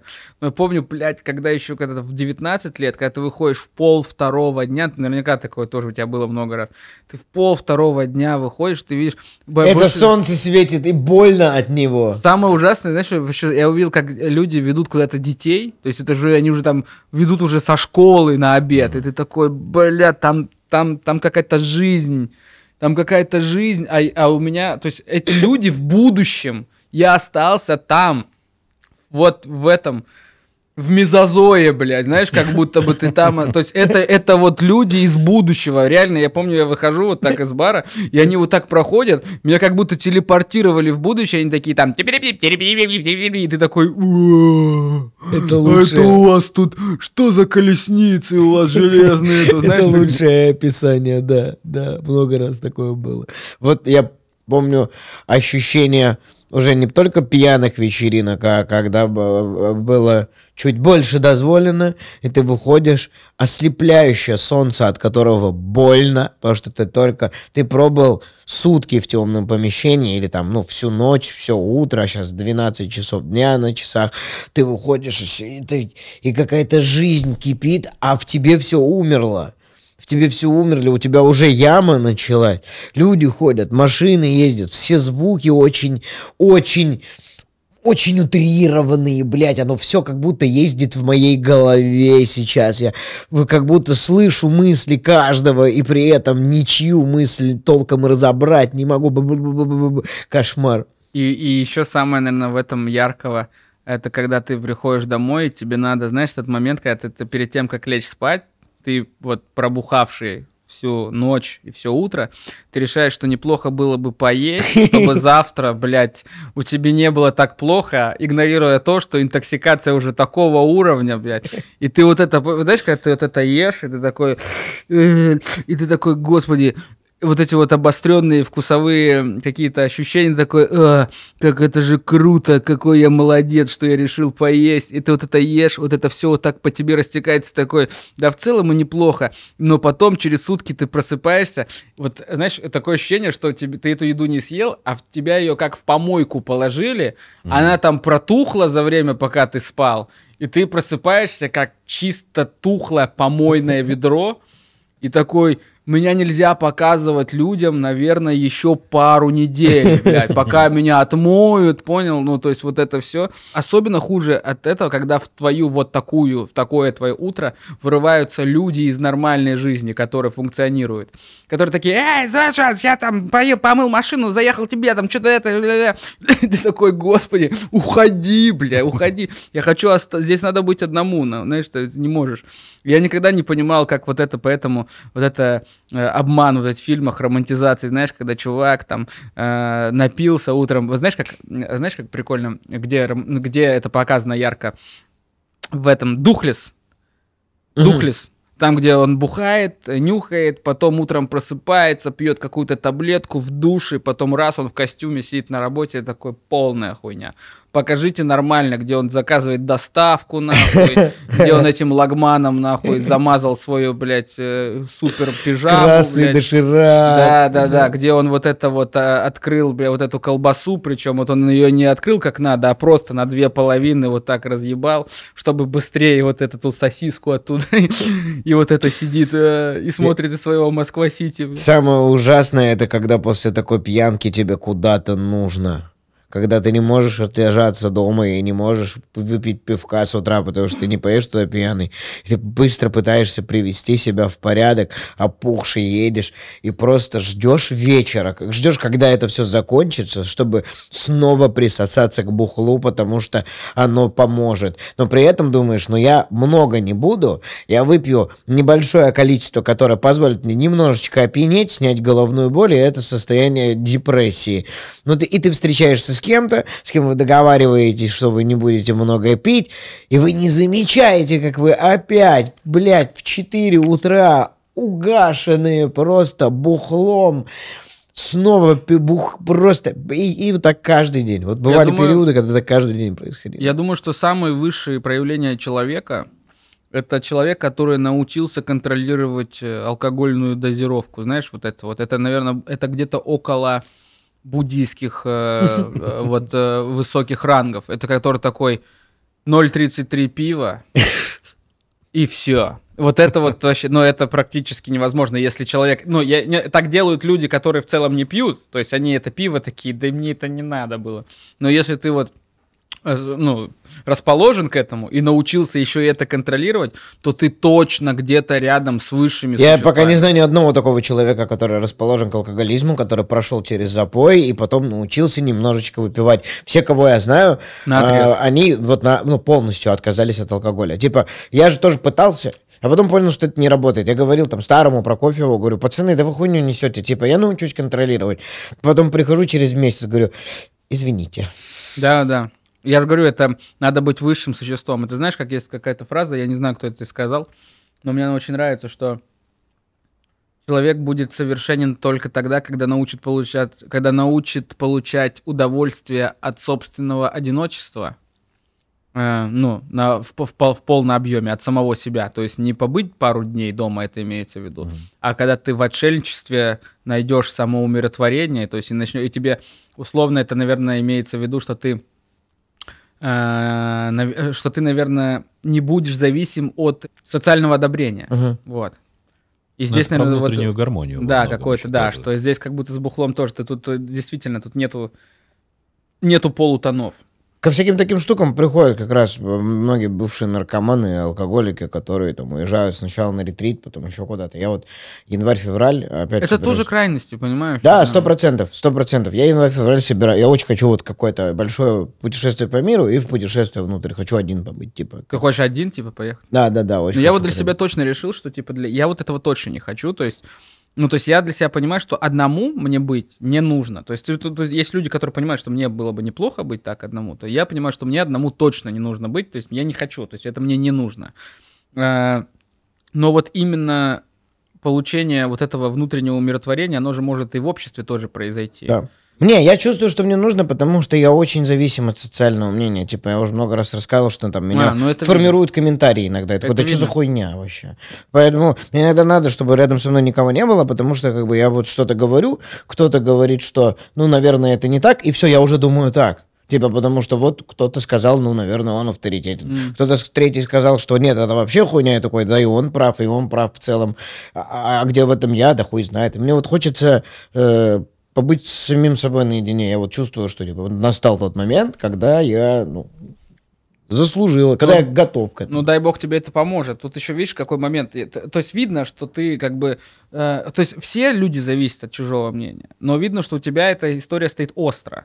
То есть ты как будто бы ее виднее и сильнее. Но на самом деле, то есть люди все, то есть я тоже завишу. То есть не надо кривить душой здесь. Не, ну, все зависят от общественного мнения. Вот эти комментарии, как, как бы кто ни говорил, какого бы полета ни была звезда, ну никому не похуй на комментарии. Ну никому. Ну вот типа вот, возможно, мы сейчас еще раз подтвердим людям, которые пишут гадости, э, их значимость, но никому будьте, мне кажется, бля, я не знаю, мне кажется, э, люди сходят, причем у- я вот пару раз сталкивался с незначительной, но сталкивался, и я боюсь представить, что ощущают люди, когда сталкиваются с реально кибертравлей. Это очень больно, это очень просто, н- ну, это такое ощущение, то есть у тебя, э, я вот общался, у меня есть э, товарищи, которые сталкивались с этим в полной мере, у тебя есть ощущение, то есть твой мозг начинает таким образом работать, что все люди прямо сейчас выясняют, где ты находишься, чтобы прийти, как-то тебе, на тебя повлиять, показать на тебя пальцем и что-то с этим сделать. У меня было такое несколько раз. Я сталкивался с такой штукой, и в этот момент кажется, что вообще тебя все возненавидели. Да. Что все твои знакомые тебя возненавидели, что чувство вины невероятное. То есть там даже были, были, были штуки, где меня по приколу просто начали травить, а я очень, я очень, ну, близко к сердцу начал воспринимать. То есть оба- моя оболочка говорила, ха-ха, да вы дураки, сами, блядь, это, что-то я пытался там шутить там и так далее, на самоиронию вывозить. Но сейчас я, оглядываясь назад, понимаю, что мне было очень больно. Я пытался себе врать, что это не больно, а это, бля, больно. И это реально э, формировало меня, типа. И поэтому... Ну, видишь, ты сам сказал, что твоя оболочка делала все по-другому, потому что, возможно, твоя психика самозащитилась, и вот так тебе, то есть, просто если бы ты так не делал, а ушел бы вообще в тотальный низ, вот знаешь, когда ты такой, когда ты себя, как ты бы ощущал, так бы ты себя и проявлял, это, возможно, было бы еще хуже. Это очень хорошо, когда психика умеет сама сгруппироваться и сама э, себя защитить. Ты это даже можешь не осознавать, Мгм. подсознание твое так работает. Вот когда тебя травят, вот как, здесь очень важно, ну, блин, это, наверное, мне кажется, это ты можешь, вот ты можешь говорить, я могу тебе сейчас сказать, типа, когда, то есть есть же очень популярная классная фраза, если тебя оскорбляют в интернете, выйди из интернета. Да. Ну, типа, ты такой, блин, да я все понимаю, но когда это касается тебя, ты такой, блин, а вдруг они сейчас, я же не смотрю в интернет, а они уже под моим окном с вилами стоят. Надо, значит, посмотреть. И это кошмар, конечно, люди, ну, когда с этим сталкиваются. Я, я- я вот, я сильно сочувствую всем, кто с этим столкнулся, потому что, ну, прикинь, как ты сильно себя загоняешь, что твой мозг начинает приходить к ощущению, что а вдруг я реально такой, вдруг они правы. Да, да, это пиздец. Вот это то, о чем я говорю, когда говорю, что комментарии тебя формируют. Тебе пишут эти вещи, ты понимаешь, что ну, это неправда. Э- Это превращается уже в мем, им смешно, мне уже нихуя. Я думаю, походу я реально такой. Я начинаю спрашивать у своих друзей, пацаны, скажите честно, я реально то, что они говорят? Да, Ильдар, ты дурак, что ли, блядь, да забей. Такой, ну ладно, спасибо. Потом сижу, думаю, а что если пацаны не хотят мне правду говорить? Такой, да ты дурак, что ли, все же честны друг с другом. И я сижу просто, накручиваю это все. А люди, которые это делают, возможно, просто прикалываются. Для них это просто прикол. Кто-то самоутверждается через это, через токсичность. Кто-то просто подхватил э, этот тренд и идет писать «Ты шерстяной ган...» Да-да-да-да». Для некоторых это даже не прикол, не самоутверждение, для некоторых это вообще, вот реально мне иногда кажется, что для некоторых это реально харчок. Вот знаешь, вот когда ты, вот знаешь, стоит человек, курит сигарету, и вот так вот просто... Вот для многих, вот, вот твое, вот, вот это вот негатив твой, в твою сторону по определению какой-то темы, вот он интернет листает и такой... И вот, вот, А вот я что это- стою, а- а- тону в да, харче да, да, да, просто, да. я не могу, у меня, я захлебываюсь харчой разной Да. вообще, блядь. Ну, чисто теоретически, как будто бы, мне кажется, да даже, возможно, это все он плюнул, возможно, не в тебя, даже рядом с тобой, но тебе кажется, что тебе на лицо харкнули, типа. В этом плане меня, конечно, сильно моя жена э, выручает, за что ей огромное спасибо. Она для меня всегда островок, вот, э, я, в- мне кажется, вот так и должно быть в отношениях, она что всегда для меня островок вот этой вот э, вот этого ощущения. То есть я, как, что бы ни произошло, я всегда э, прихожу к ней, она такая, нет, это полная хуйня. И вот я как-то сформировал в своей голове, что, э, ну, раз она говорит, значит так и есть. Она говорит, это полная хуйня, он долбоеб, допустим, условно. Или они там неправы. Я такой, ну все, хорошо. Значит, типа, ну, мне, мне спокойнее становится. И вот рядом с ней мне спокойнее становится. Мне нравится, что социальные сети внедряют эти штуки, когда там... У меня, например, в ТикТоке или в Инсте вот всякие плохие слова автоматом, я даже не ставил этот фильтр, улетают типа в какой-то папку, Бан? в папку спам или что-то Да, да, я слышал про такое. Потом И они говорят, при- что типа ты наудалял. Да, Мгм. да. А оно автоматически фильтрует. Даже, по-моему, когда на Ютубе что-то плохое пишешь, он вроде... Или, или на Ютубе, где он В говорит... Инстаграме типа, точно В Инсте? Да, да, вы да, уверены, что вы хотите это написать? Типа. Прикольно, что хотя бы какие-то есть методы борьбы с этим, но потому что... Бля, буллинг — это страшная вещь. Ну, то есть од- даже когда типа, ты один на один с кем-то срешься в комментариях, просто как пользователь, это не прикольно, это вызывает эмоции. А каково там каким-нибудь, не знаю, маленьким девчонкам, которые появились в интернете, делают свои песенки или видосики, и они их начинают булить страшно, а ей ебать 14 лет. Ей 14 лет, естественно, на нее это страшнейшим образом повлияет. Вы, возможно, убьете человека, типа. Ну, реально. И такие же случаи бывали, когда буллингом доводили людей. Да, сто процентов. Причем очень многие люди до сих пор будут уверенно тебе говорить о том, что типа, а, ой, да ладно, что вы тоже пиздите, для, там, типа в интернете на вас там пару э, комментариев хуевых оставили, и вы тут размазали сопли. Но на самом деле интернет гораздо больше стал и стал гораздо больше, чем мы о нем думали. Мы думали, что это способ самовыражения и способ коммуникации, способ информации и так далее. Но интернет обернулся вообще другой Это же даже жизнь, историей. это жизнь, полная жизнь. Да, это уже ты- не виртуальный мир. Эти миры соединились, это реальный настоящий мир. Это вот э, э, это вообще реально вот серия черного зеркала, когда интернет может наносить, ну, э, мало того, что эмоциональное увечье, так он еще может через это, это может в итоге физические увечья, типа какие-то. То есть ты вот, ты можешь реально, то есть интернет, через интернет и через комментарий можно нанести человеку вот как раз-таки тот самый посттравматический синдром, когда человек из-за комментариев в интернете будет потом вот так вот просыпаться там среди ночи такой... И не обязательно, причем, что он плохое что-то сделал. Прикиньте, что интернет это как э, одно из вот этих изобретений, типа у которого есть просто плохая сторона, как и у любого великого изобретения, которое, знаешь, типа, Мгм. как оружие могут использовать. Вот так и здесь, типа, интернет был создан, чтобы ученых объединить и как бы чтобы Мгм. быстрее они информацию друг, э, друг другу передавали и быстрее шел технический прогресс. А в итоге вот это используется для того, чтобы школьницы травить в интернете, типа такая херня. И это может быть очень больно по-настоящему. То есть это, видишь, хорошая вещь используется все равно как оружие. Это, и- и это проконтролировать как будто никак нельзя, потому что оно в руках у каждого. Да? Как будто бы, как будто бы реально нету исключительно хорошей вещи вообще никакой никогда. Мгм. То есть у всех есть такие... А у меня еще, знаешь, что самое, вот почему у меня, я не знаю, у тебя бывало такое или нет, из-за того, что я вот вырос в деревне, всегда к вот какой-то такой артистической деятельности относились там э, ну, достаточно со скрипом. И я все время, знаешь, за чего переживал, переживаю, когда мне говорят, ну чё, допи***ся? Надо, чё, пи***л, пи***л, допи***ся? Меня почему-то это всегда так ранит. Ну, в плане того, что я такой... э, что меня всегда учили в деревне «держи язык за зубами». Типа, ну, держи, следи за языком. Вот всегда говорили, за языком следи. А моя работа, по сути, заключается в том, что я такой тра-та-та-та-та. Мгм.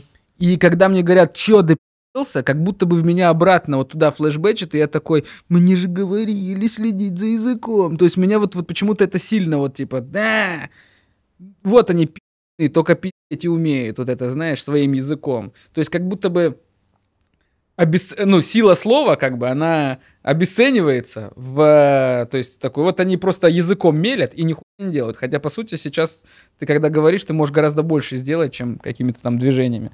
Но вот это вот почему-то меня всегда вот это допился, допился. А как, где тебе? Просто в комментариях могут Ну, Или что-то, если случилось, например. Если Да, да, да, скандал да, да, какой-то. да, какой-то скандал, да, обычно говорят. Ну все, вот он. Или как говорят, да шути. А еще, знаешь, как про, обычно про комиков, обычно что-то случилось вот с комиком, случилось что-то, и пишут, ах, ты не шутишь ты сейчас, шути, блядь, сейчас тогда что? Вот знаешь, когда что-то вот это, давай, блядь, что-то ты такой был смелый шутил, а сейчас не шутишь. Вот это да, самая тупая хуйня, которая есть на свете.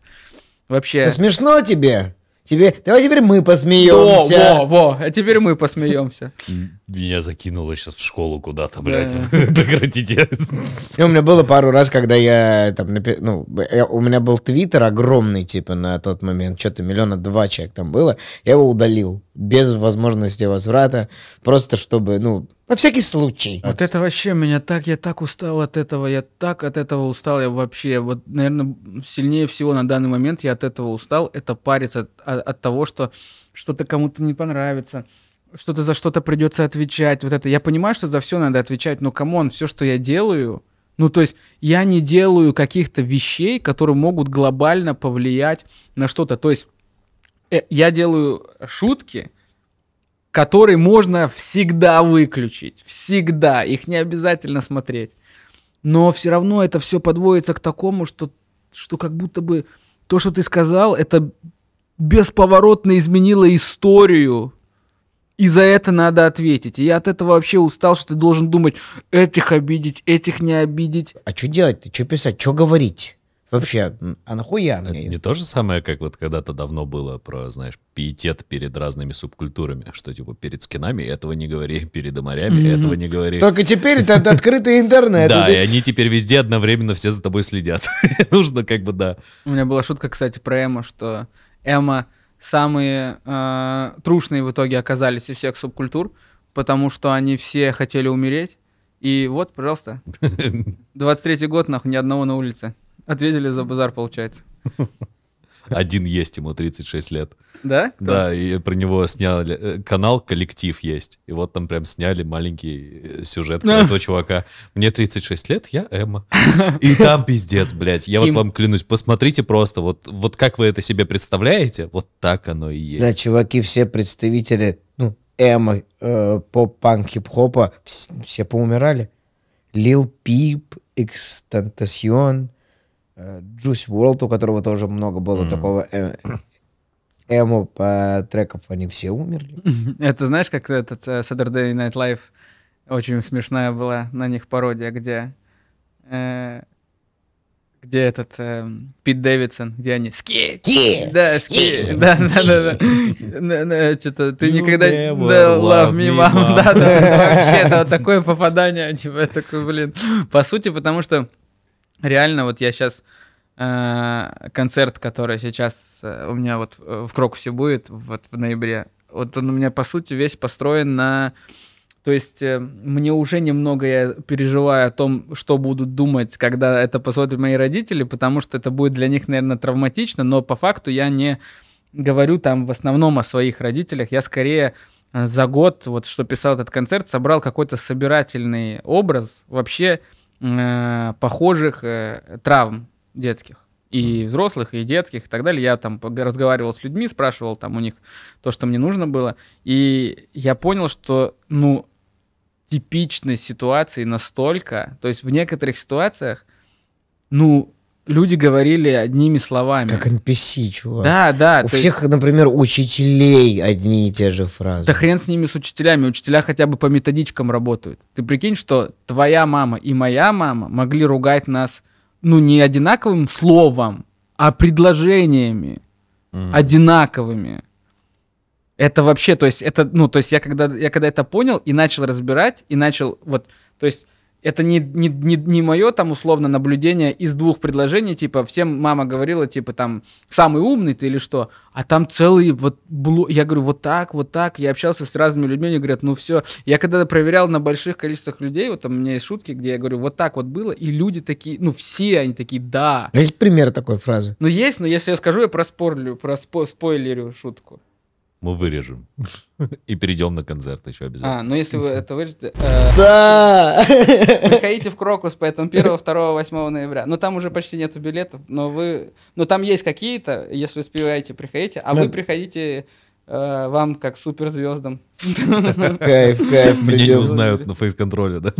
Погнали первого или второго. Первого, второго, восьмого. Я за вообще. Это, кстати, тоже для меня вообще большое, э, большое, большая радость, и, честно скажу, от этого мне тревожно, потому что мы собрали три крокуса за неделю, Мгм. Ну, то есть первого, второго и восьмого. И это, конечно, не может не радовать и одновременно э, для меня, как для человека, который впадает в панический ужас и типа, о господи, тогда на меня обратят еще больше внимания. И ну, то есть вот это. Но а, на самом деле я невероятно счастлив, что такое вообще произошло, что я что вот, вот, вот такое внимание. Я очень рад, что люди ну, в таком количестве хотят прийти и послушать то, что я там придумал. Какая вместимость в Крокусе? Шесть тысяч. Шесть? Мгм. Круто.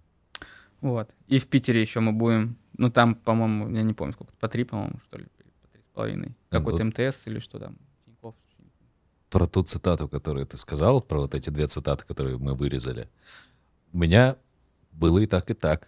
У меня было и первый вариант, когда вот то, М. что ты говоришь, то есть Ты по-настоящему. жил в разных семьях? Я жил. Это просто по-разному происходило. А, и подожди, ты жил сначала с дурслями, а потом тебя А позвали потом Дамблдор начал подгонять подгончики всякие. да. и трогать тебя вот там. Не, ну, ка- как же без этого? Это главный подарок. Не, ну вообще действительно было по-разному. То есть, и вот второй вариант, о котором ты говоришь, он тоже был, я вот четко вспоминаю, и даже если он не ко мне был направлен, я это точно слышал в адрес кого-то из там друзей. Блин, вообще же, я, рас- я, я тоже разговаривал с кем-то из э, ребят, сейчас пытаюсь вспомнить, как, когда это было, но вот как часто очень многие же слышали это, вот как нас странно хвалили в детстве, типа, М. да, это ты, конечно, хорошо сделал, но вот тогда, вот как у тети Свети, ты себя отвратительно повел. Ну, я пришел к выводу к тому, что это все просто поведенческие паттерны, которые... Вот это самая большая, мне кажется, основная, основной тезис, что поведенческие паттерны воспитания просто не адаптируются, не адаптировались под ошибки совершенные. То есть они передаются из поколения в поколение. То есть я вообще считаю, что сейчас на нынешнем поколении очень большая ответственность. Потому что сейчас у тебя есть возможности, если ты ну, зарабатываешь, у тебя есть возможность, пока ты воспитываешь своих детей, скорректировать свое воспитание, если ты подумал, что где-то ты ошибаешься. У тебя есть такая возможность прийти к специалистам. Тогда такой возможности не было. И если уж ты проебался, то все. Ну, то есть это ты виноват. Прикинь, у тебя вот было... мы сейчас так думаем, а потом щелкает. Вот свои дети появятся, тогда А я поймешь. тебе больше скажу. Так и будет. Поведенческие паттерны гораздо сильнее, чем ты думаешь. Они потому что несознательные. Вот, да, как раз хотел тоже к этому подвязать. То, что вот эти всякие ответы, которые мы слышим от родителей и тому подобное, это часто реакция на нежелание разбираться с ситуацией и побыстрее как бы ее закрыть. Мгм. Вот. Несознательность. Я Да, так и- да, да. да, я говорю, потому что это, это трудно назвать воспитанием. Все, что происходило, это не воспитание, это управление. Факт. Управлять. Контроль. Надо было ребенком управлять. Стой здесь, сри там, здесь заткнись и так далее. Потому что тогда он будет выбиваться из общей системы или мешать тебе быть в этой системе. Ну вот я думаю, второе скорее, вот именно промешание тебе. Ну то есть ты же в любом случае эгоцентричный человек, то есть ты как бы воспринимаешь мир вокруг как свою жизнь, в которой что-то происходит. И ребенок — это часть того, что происходит в твоей жизни. И это неплохо, на самом Да. деле, я говорю про систему, потому что так или иначе твоему ребенку нужно будет научиться жить в системе, потому что мы живем в системе. Любая жизнь, я не говорю сейчас про нашу страну, я имею в виду вообще любая страна это система. Ему нужно научиться взаимодействовать в этой системе. Просто тебе нужно, чтобы он в, это- в эту систему вошел как можно комфортнее и как можно лучше ее осознавал, эту систему. А не, э, не было у него такого, что типа я лучше спрашивать не буду, ну его нахуй. Я спрашивал в детстве, мне, мне говорили, бли бли бли бли», я лучше, ну тогда вот система работает, я в системе.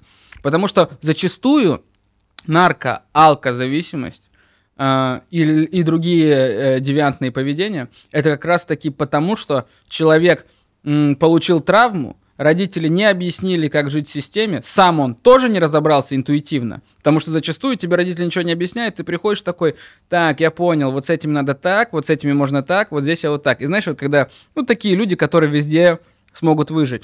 Это вот когда интуитивное, подсознательное, ты смог адаптироваться к системе. А люди, которые подсознательно не смогли, и родители не объяснили, ну, это вот э, получается вот все вот эти отклонения э, алкогольные и так далее. Ну, и помню, как-то в российских газетах называли дети индиго, которые не могут справиться с жизнью в системе. Нет, это не дети индиго, это совокупность родителей и общества, включая ебаных э, у- там э, взрослых, которые тебе говорили там, как ты должен себя вести.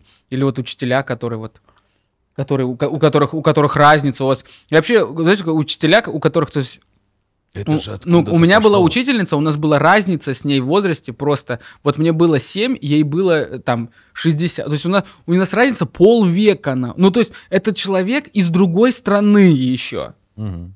Но ну, не может он, не надо ему со мной взаимодействовать. Это мы из разных, это лю- при- полвека разницы. Ты можешь себе представить? Это Большая разница. У меня даже была шутка, что я говорю, что нужно сделать экспериментальную школу, где вообще нет учителей, там типа 11 класс учат 10, 10, 9, и вот Хм. так вот они все, все друг друга обучают. Вот эти вот паттерны, вот это вот все, оно же откуда-то изначально пошло. То есть это вряд ли был, конечно, конкретный какой-то год, там, 1920 все, теперь мы воспитываем вот так. То есть это, скорее всего, я к чему веду, А, вот эти вот воспитания, вот эти вот паттерны, вы прикиньте, что это как испорченный телефон длиной в сотни лет. Да-да-да, Да. да. И что то, что изначально как будто, ну, во-первых, оно, конечно, в другом обществе в- могло возникнуть полностью, но оно перекочевало до сюда, исказившись сотни Сто раз. процентов. Сотни раз. И при этом, при всем, у всех все равно одинаковый месседж в голове, просто одинаково испорченный. Да, может быть, а может быть еще хуже, знаешь, а может быть и так, а может быть так, что месседж, который вот тогда родился в те времена, Мгм. Он даже он не исказился, просто немножечко э, деформировался, но по сути установка, которую давали в древности, дошла вот до, вот до нас, и, и тебе, тебе говорят, ты э, заткнись, Мгм. ты самый умный и так далее, и ты такой, блин, ну может это тогда надо было при царе? Хотя... А прикинь, наоборот, такой месседж и закладывался, просто вот мы наконец-то, типа, достигли того, что хотели наши предки. Ну- Они сейчас посмотрят на это все, да, заебись, так и надо. Самое тяжелое вообще, мне кажется, что вот э, в, этом плане, что люди... Вот как, когда говорят, что нам нужно научиться разговаривать, это все подается как, типа, просто научитесь друг с другом говорить. И тут из этого, мне кажется, нужно всегда исключать слово «просто», потому что люди за всю историю существования не научились говорить. Люди не умеют друг с другом говорить. И, и вообще, и, и когда ты находишь человека, которым ты будешь там по жизни идти, э, очень сложно научиться говорить. Я вот со своей женой, вот мы вместе 10 лет, ну мы, может, года два последних только вот научились э, хорошо друг друга понимать. Первые три года это было вообще, я не знаю, как мы не разошлись вообще. Просто, наверное, на сильных чувствах, но это было просто, то есть мы э, просто друг другу калечили психику. Просто методично. Типа, вот так, знаешь, как эти, как мишки, которые бьют вот, Мгм. н- вот в- на часах. Вот так мы вот три года вот так вот по нашей психике долбили. Она, я, она, я. И вот так вот мы жили, пока мы такие, блин, надо, ну надо что-то с этим делать. Вы И- одновременно пришли к, этому, к этой мысли? ну, скорее, ну, не то чтобы, наверное, каждый по-своему, но эм, тут, наверное, я успокоился. Это еще очень много триггерил я, на самом деле, потому что э, когда я боролся условно за место под солнцем, то есть, ну, я вообще никого вокруг не замечал. И, естественно, там она зачастую чувствовала себя одинокой просто-напросто. То есть она была, мы жили в одной квартире, в однокомнатной в Жулебино, но она там была, по сути, одинока, потому что я а, выбивался там за место под солнцем. И ты никогда это не, не оправдаешь перед человеком. Я же хотел, чтобы мы жили лучше. Это вообще ну, не оправдание. Тебя никто вообще не просил вообще, если честно так Мгм. делать. Ну, то есть, я когда успокоился, остепи- ну, типа, там, вот, более-менее пришел в себя, плюс еще какие-то догмы, я думал, что догмы из депутатска из меня вылета... вылетели сразу же после того, как я оттуда уехал. Некоторые вообще пару лет назад только выветрились, знаешь? А есть что-то, что осталось до сих пор? Ну и надеюсь, нету. А если есть, то я тебе скажу это, когда они выветрятся. Потому что сейчас-то я за собой говна-то навряд ли. Но, но возможно, есть на самом деле. Но там условно, знаешь, какие-то. Ну, вот из таких популярных, что я вот что когда вот мы только начали жить, вот с- мне уже там было 22, там 23 года с женой, что я такой, женщина должна мне готовить, нихуя себе, почему она не готовит. Ну там условно, знаешь, Мгм. так типа. То есть э, из-за того, что я видел вот эти паттерны у себя, то по сути я на нее накладывал роль матери. И она Мгм. такая, да какого хуя я не собиралась быть твоей матерью? Я такой, ну я не прошу тебя быть моей матерью, но ты делай как моя мать, пожалуйста. Ой-ой-ой, очень срезонировало. У меня было так в отношениях, я не осознавал этого. Вот, вообще. так это не это, это трудно осознать, прикинь, Ну каким я надо же работаю постоянно, а ты дома сидишь. Ну Во, тогда во. готовь. Как, как у меня же мама готовила, папа работал, так надо. Я, кстати, тебя люблю, я пошел. Да, так, кстати, это, прикинь, как, это, это- это невозможно осознавать, это нормально, потому что надо быть полным долбоебом и, скорее всего, сумасшедшим человеком, чтобы ты вот так делал и такой, это осознанно. Я сейчас, то есть это ты, скорее всего, уже психопат, как Джокер такой, я тебя сейчас психологически насилую осознанно. Блядь. Есть такие люди. Ну, Есть это такие страшно, люди. значит. Это, это... страшно. Это, это, это все равно, что, наверное, какие-то я не знаю, как эти люди, которые э, ну, садисты, как садисты. Мне рассказывала девчонка про своего бывшего парня, который газла- газлайтил ее таким образом, что записывал на диктофон их разговоры. вот это я столько раз И, и, вот- и чикал их, типа, нарезал. Э, Так что она говорит, ты так не говори, я так не говорила, нет, ты говорила, послушай, и подставлял так вот. Я Я, это- думаю, сейчас у газлайтеров еще есть нейросети, нахуй, прикинь. Это вообще... Говоря о том, как использовать э, по-хорошему или по-плохому, сейчас у газлайтеров есть нейросети, нахуй.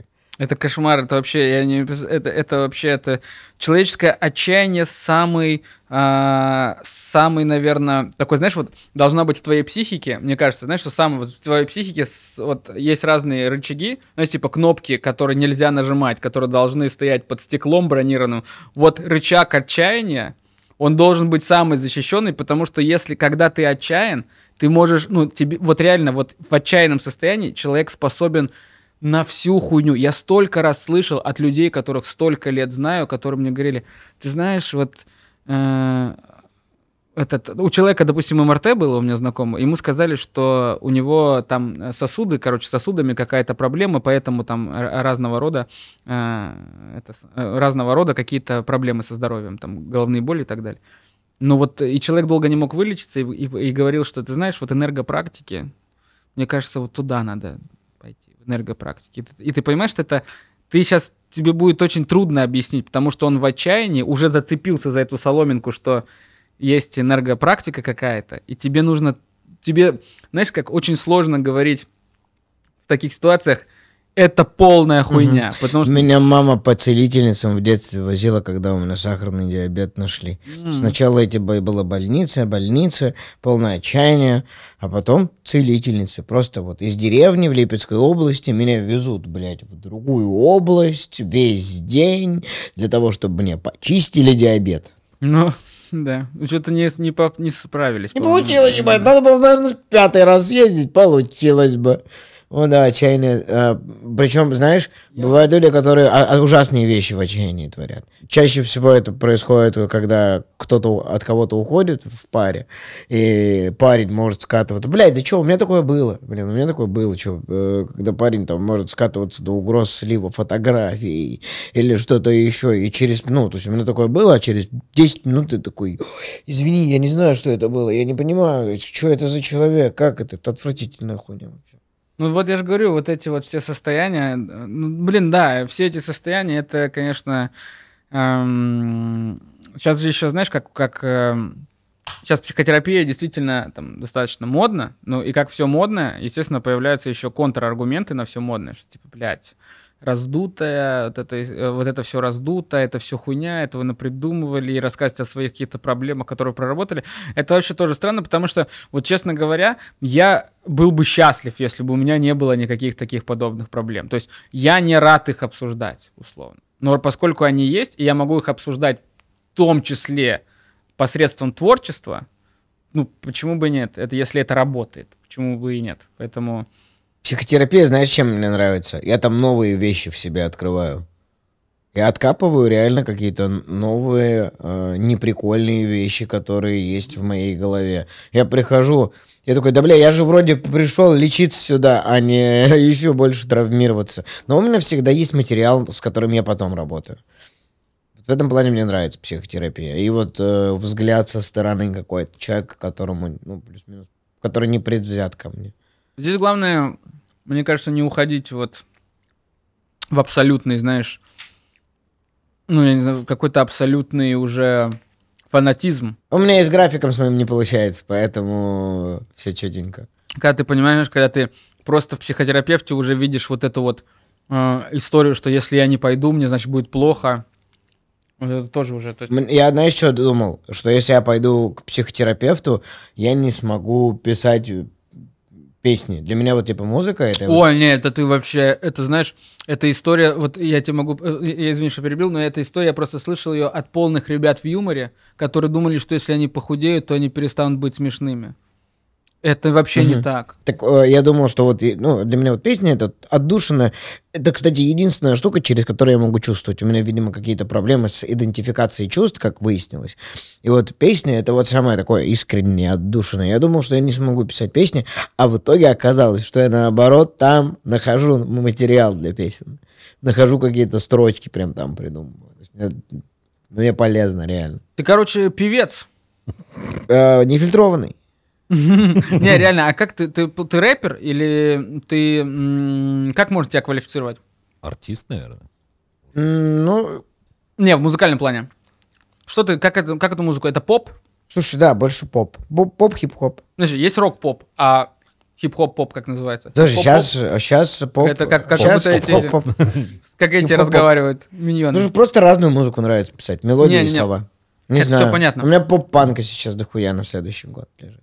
У меня поп есть. У меня есть типа бомбэп хип-хоп тоже на следующий год. Не знаю, пишу. Death metal будет? Пока надо научиться. Знаешь, вот это, где мне нравятся эти death metal, они же все такие, ну, вроде как... Это такой протест, да? Ну, вроде как. Я, я про- просто сейчас, наверное, меня обосрут в комментариях те люди, которые там разбираются. Но death metal это всегда типа такой протест против всего, и они такие им вообще похуй, они такие за самоидентичность и так далее. Но у них, но все их названия, все их, их групп, блядь, написано этим, блядь, шрифтом. Ты такой, блядь, ну там что угодно напиши, ты такой, это любая из death metal Да, групп. да, да. Просто любая. Вот это, знаешь, да, вот эти. Не, мне еще название групп нравится, э, особенно современных. Э, Они там все типа называются как-то каким-то словосочетанием, типа 13 карат, 3 дня дождя. О, три дня даже. Я недавно смотрел его у Васи Трунова на вписке. Мне показался, он искренний парень. А, но, э, но вот именно демоны, как бы он поет, там точно есть. Но мне кажется, он, мне кажется, он добрый парень, искренний. Сто процентов. Он такой, ну, я, я, я смотрю, он такой свой чувак, приятный достаточно, просто, ну, проблемный. Проблемный, как, как многие из нас, как многие из наших друзей. Просто у него вот так это проявляется. Да. Ну, тоже, я надеюсь, разберется. Давай, дай бог, а, чтобы он разобрался со всеми своими проблемами. Подытожим. А, ты покупал себе что-то прям супер дорогое, но тупое? Конечно, вообще постоянно. Э, Дело, такие ошибки у меня часто возникают. Э, Что-то дорогое, но тупое, допустим. Ну, наверное, вещей много тупых. Одежда, ну, если одежду не считать, да? Или считать? Ну, вот прям, наверное, какая-то вещь, которую ты смотришь такой, нахуя? Ну, у меня часто такое с кроссовками бывает, что я купил, э, прихожу и такой, у меня есть и такого цвета, и похожего, в- и похожие модели, нахуй мне надо было это все. А они там типа дорогие. Но с кроссовками, понятно, это такая уже а, отклонение такое уже, которое у меня очевидное. А вот если прям вот так, то... Так, давай... Блять, прикиньте, если собирание кроссовок это типа ответвление фуд-фетишизма. Да, общем, можно. Но мне не нравятся ноги, кстати. Я бы вот... Я думал об этом. Поэтому он хочет всех обуть. Я не хочу, да, да, скорее, да, скорее наоборот. Я не хочу, я настолько не хочу сосать ноги, что хочу надеть на них э, кроссовки. Все кроссовки А вот кроссовки я бы пососал. С удовольствием. Блин, а какая же тупая вещь. Ну, я не знаю, но вот я сейчас, я недавно хотел купить себе диджейский пульт, чтобы играть на даче на вечеринках. Хотя я, не умею, если, если что, играть на диджейском пульте, но я хотел на- научиться, чтобы играть свою хуйню. Круто. Мне даже сеттинг нравится, типа, чтобы играть на даче, типа, свои диджей-сеты, блядь, Да, мне один э, друг говорит, мы когда с ним это обсуждали, я говорю, вот хочу пульт купить, чтобы когда там собирались, там ребята там на Новый год, друзья, ну типа вставать там и играть вот прям какую-то хуйню. Я даже придумал наряд какой-то там, ну короче, какой-то типа смешной. И что-то мы выбирали, и у меня там э, э, друг, который в этом чуть-чуть разбирается, он такой, не, вот этот пульт хуёвый, его не бери, потому что у него такие пэды, а, там что-то там замыкается и так далее, там на, на, на- полсекунды идет задержка. Я такой, ну да, говорю, на даче будут все сильно недовольны, если я куплю себе вот эту хуйню, где будет задержка. Я говорю, вообще купите мне сам, ну я хочу, э, надо прийти в этот магазин сказать, есть вообще самая залупа? Вот Что в мире диджеев считается такой зашквар, что прям вообще... ну, Они вот такие, такой- вот тебе диск, это Virtual DJ. Да-да-да, вот это вот не давайте. Я хотел научиться диджеить как раз, когда на Бали был. Прикольно. Я вот думаю, что когда-нибудь я бы попробовал. Просто, знаешь, сводить треки там, не знаю, русскую попсу с бразильским фанком. Да, но я вот недавно был на вечеринке в Воронеже. Так совпало, что у меня был концерт, а Рептилоид приезжал туда играть. я приходил э, к нему на вечеринку, блин, вообще круто. Мне, я, мне так понравилось, что он же ушел из юмора полностью. Теперь сейчас чисто диджей, и он так в, в этом счастлив. Я вообще, я, я вообще обожаю на такое смотреть, знаешь, когда люди, во-первых, любят то, что делают, а во-вторых, они верят в это и полностью там. Я вообще стоял там за сценой, за ним, пока он играет на этой вечеринке, там полный зал людей, которые танцуют, и я вот смотрел, как он это делает, как ему это нравится, я был, я, я даже больше, наверное, от этого удовольствия получил, что я был буквально заворожен, как он, а, вообще он такой, я теперь диджей, вот, и, и ты такой, вау. Блин, круто». вот интересно, что его сподвигло просто уйти из юмора. Ну, типа, говорит, надоело, не знаю. Ну, вот, наверное, такое бывает. Но я... Они же, в он в свою очередь, э, то есть, э, он же вот во, во времена еще, когда ЧБД только стрельнул, но там с ним тяжело было по улице пройти вообще. То есть, то есть он там ну, просто гиперпопулярность там. Ой, еще и учитывая огромную аудиторию ЧБД и сам по себе формат токсичный. С- Даже типа, страшно представить, какие разные люди подходили. и Прикинь, когда каждый второй к тебе подходит такой, почему так часто пропадаешь? Это же просто может с ума нахуй свести. Ну. А люди же так думают, что, о, почему так часто пропадаешь? И ты такой, «А-а-а!» И они все, все вот это, вот это делают. Ты бы согласился быть ведущим в ЧБД? О, сложный вопрос на самом деле. Думаю, да. Думаю, да. А, как минимум, потому что это было бы интересно. Но я был вот э, у них гостем и был еще на технической вечеринке вот недавно. Просто, которая не снимается. Надо было ну, по- поразгонять просто. Ну, в форме, чтобы держались ребят. Тоже прикольно было. Вот. Ну, я думаю, мне вообще на самом деле там, ну, видишь, как бы я еще не получил тот experience, который получают многие люди, которые туда приходят, и потом такие, блин, ЧБД. То есть я все равно э, как-то вот, если посмотреть э, выпуск со мной, там все на добрых. То есть, э, я я то есть, как бы у меня все гладко, слава богу, прошло. То есть, я думаю, что там Олег Майами, допустим, не- недоволен, наверное. Хотя он два раза, по-моему, был, Мгм. да? Да. А, ну, значит, ему понравилось. Ты Богдан Титамир второй раз И, пришел. ну, Богдан... И Ивлеева тоже Ивлеева второй раз пришла, хотя... а, а как не прийти-то? Ну да. Когда там 30 миллионов Э, просмотров. Мне, кстати, э, сегодня попался то ли Рилс, то ли Шорс, где сидит Стас Ярушин и такой, нет, ЧБД это же какая-то хуйня, если меня позовут, я никогда не пойду. Кат, и он с- ему, и там ему говорит, ну тебе хуев, маленький рот напихаем. Да-да-да. Мне, кстати, очень понравился выпуск со Стасом Ярушиным, потому что я уж не знаю, я могу, конечно, ошибаться, но я очередной раз подтвердил, э, насколько он не настоящий. То есть он смеется, он говорит, и я вообще не верю. Я такой, да блин, да когда ты выйдешь? Может, он такой человек, я с такими просто не сталкивался, но не знаю, когда он такой, ребят, давайте просто, просто посидим, поговорим по душам.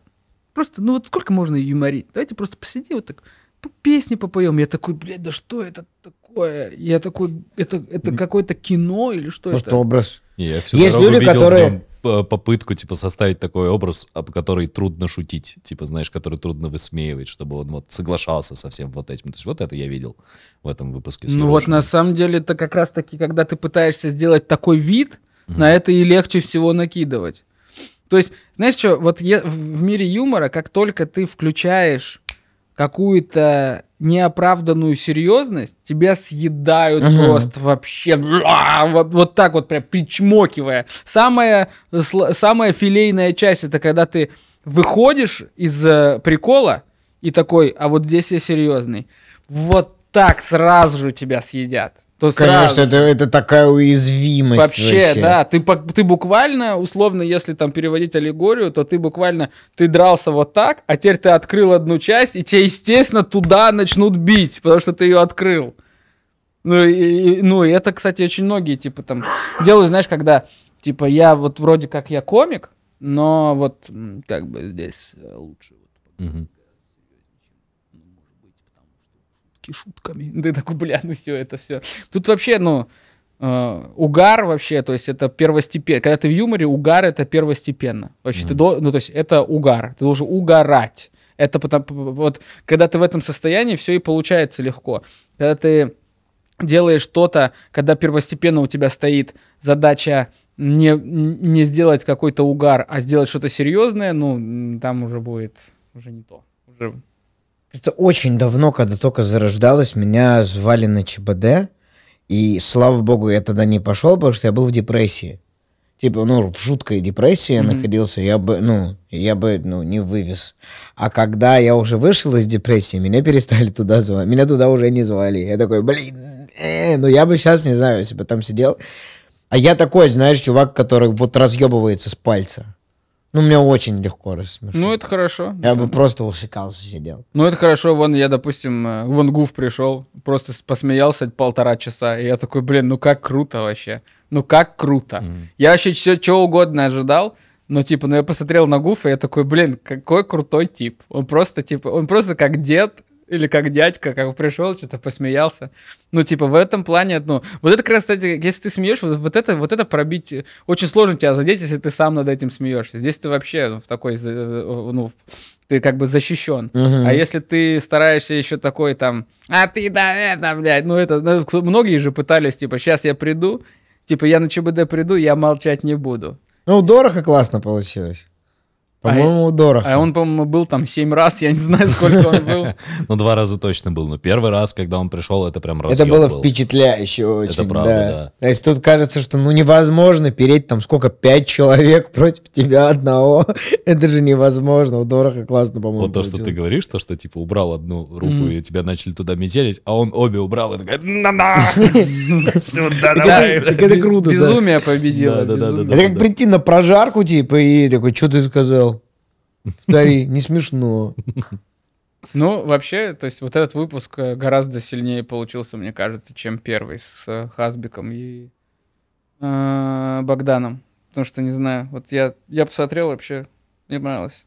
Ну, и мне, мне почему-то, я, я, не, я не мог, я почему-то умилялся с Гуфа. Я не знаю, я не понимаю, почему вот его смех, вот где он смеется, я такой, блин, это как будто дядя. Вот Очень какой- мило. Да, я такой, блин, как- и- и да, ну, ну, то есть ты вообще забываешь обо всем, что там, что там про него говорят, что он там делает, такой, блин, ну это- он просто от души, видно, что он от души смеется.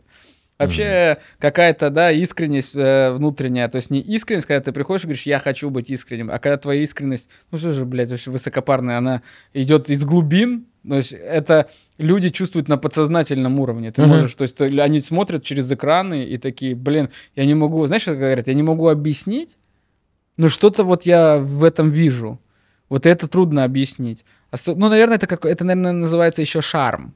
Да? Мгм. Какой-то шарм, когда у человека есть.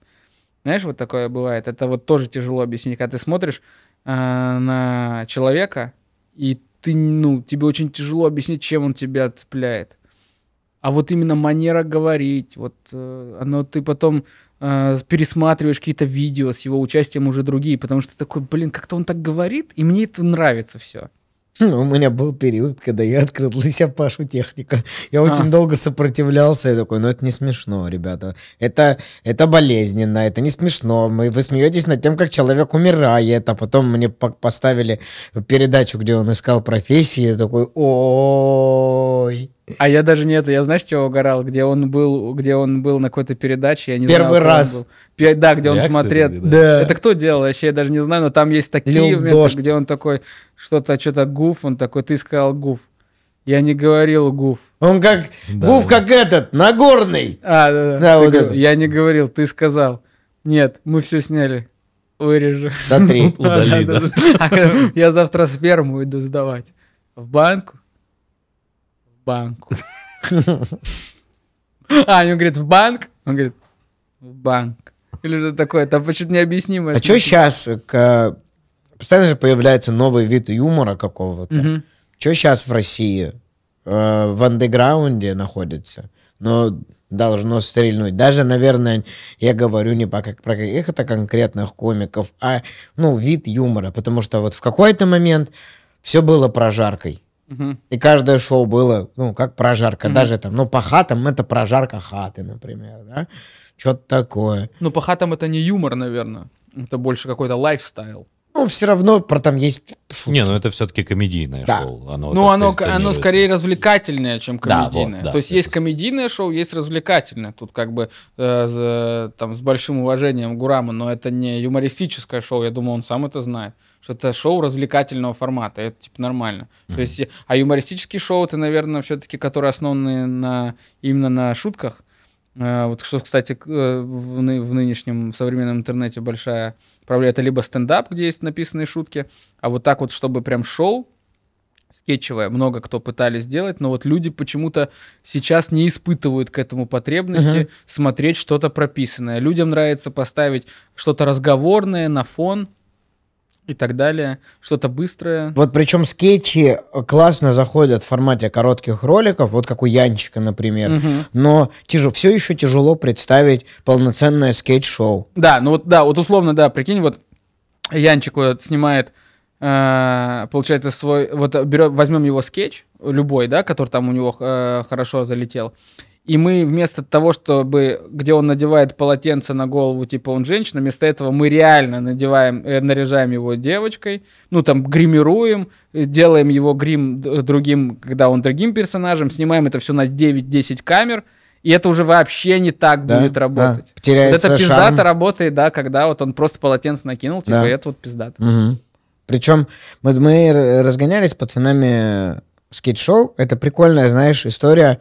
Но опять же, вот ты придумываешь скетч-шоу, выпускаешь его на Ютубе, например, только для того, чтобы какие-то конкретные скетчи и персонажи завирусились уже в коротких видосах, типа. Ну, раньше прикольно было, когда там наша Раша какая-нибудь была. Мне кажется, это чуть ли не последнее, что я смотрел из, из скетч-шоу. Ну, ХБ, кстати, ХБ. Наша Раша, да, она, бля... по- О, кстати, вот я вспомнил. Ты сейчас сказал, и ты сказал, какие штуки а, из депутатского до сих пор из меня не выветриваются. Предвзятость.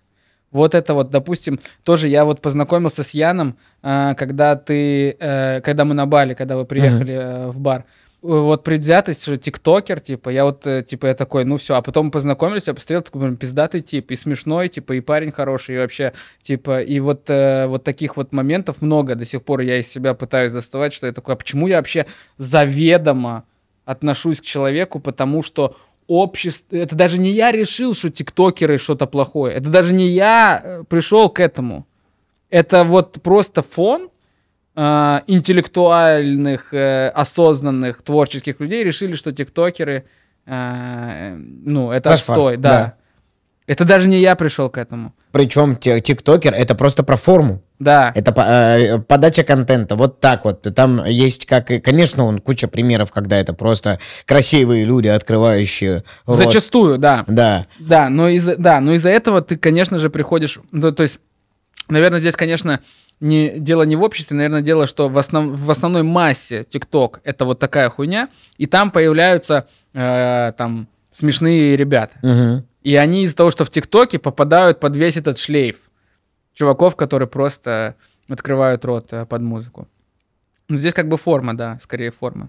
Но меня нету в ТикТоке. И я никогда не снимал. А, я, А как же выкладывать вырезки с выступлений? Я этого не делаю. Это надо. Это охуенно. У нас, у нас подкаст держится на вырезках, отвечаю. Это вы делаете? Да, у нас есть отдельные люди, которые, в том числе, во-первых, есть люди, которые сами нарезают и вот так вот вставляют рекламу беттингов. А, Вот, у меня все вот это. А есть люди, которые... Когда я увидел, что это работает, мы наняли отдельного человека, который смотрит заранее подкаст, нарезает его на кучу э, роликов, и я захожу и в свой ТикТок отгружаю типа 30 роликов. Вот мне тоже надо так делать, потому что я захожу что в шорты, что в рилсы, что в ТикТок, и там куча моих видео, все нарезанные, все с букерами. Просто вообще я захожу, то есть я смотрю, захожу в Инстаграме, Сергей Орлов, фан-страница. Там все у меня. И у него прямо в описании реклама сюда. Мгм. Я такой, что это за хуйня? Я С начинаю... одной его- стороны, прикольно, раскачивается твой личный Да, бренд. с другой стороны, он берет рекламу. Мгм. И реклама может быть какая угодно, в том числе и вот эти... И вот я решил просто забрать этот трафик себе. Это так и так делали, я забрал этот трафик себе. У меня там типа некоторые ри- рилсы в инсте, с- там самая популярная с- вырезка с подкаста, 5,5 миллионов только в рилс. Это охуеть как много. В ТикТок захожу, на чем-то 20 тысяч просмотров, на чем-то 5 миллионов просмотров. И я думаю, ну, заебись. И люди приходят смотреть. Люди приходят смотреть э, уже в полном формате. Я не знаю, это наше проклятие или наш дар, но шорты и рилсы это как раз-таки сейчас то, что, наверное, стоит э, во главе. Даже, по-моему, YouTube писал об этом, что шорты сейчас это самая популярная просматриваемая штука. Да я сам на это сел. То есть я Мгм. сижу, я смотрю шорты. Ну, я- вот, вот у меня там в основном это еда, там всякие мишленовские повара. Потому что это невозможно оторваться от того, как они это делают.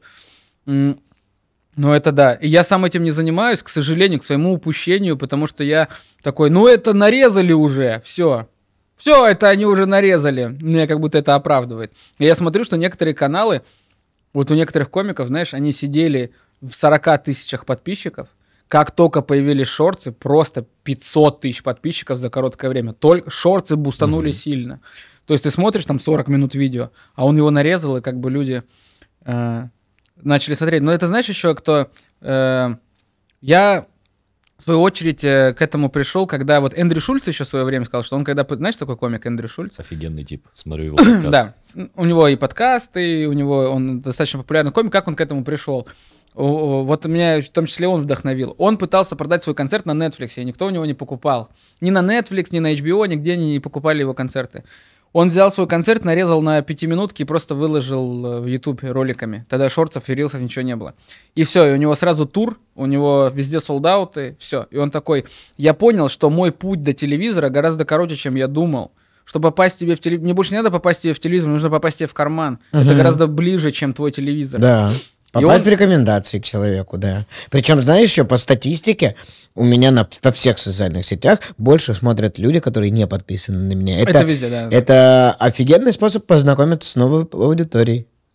Вот, и как бы, ну, я не знаю, насколько у нас пересекается аудитория, но вряд ли сильно, поэтому как бы вот такие вот э, штуки тоже, э, на самом деле, э, важно использовать.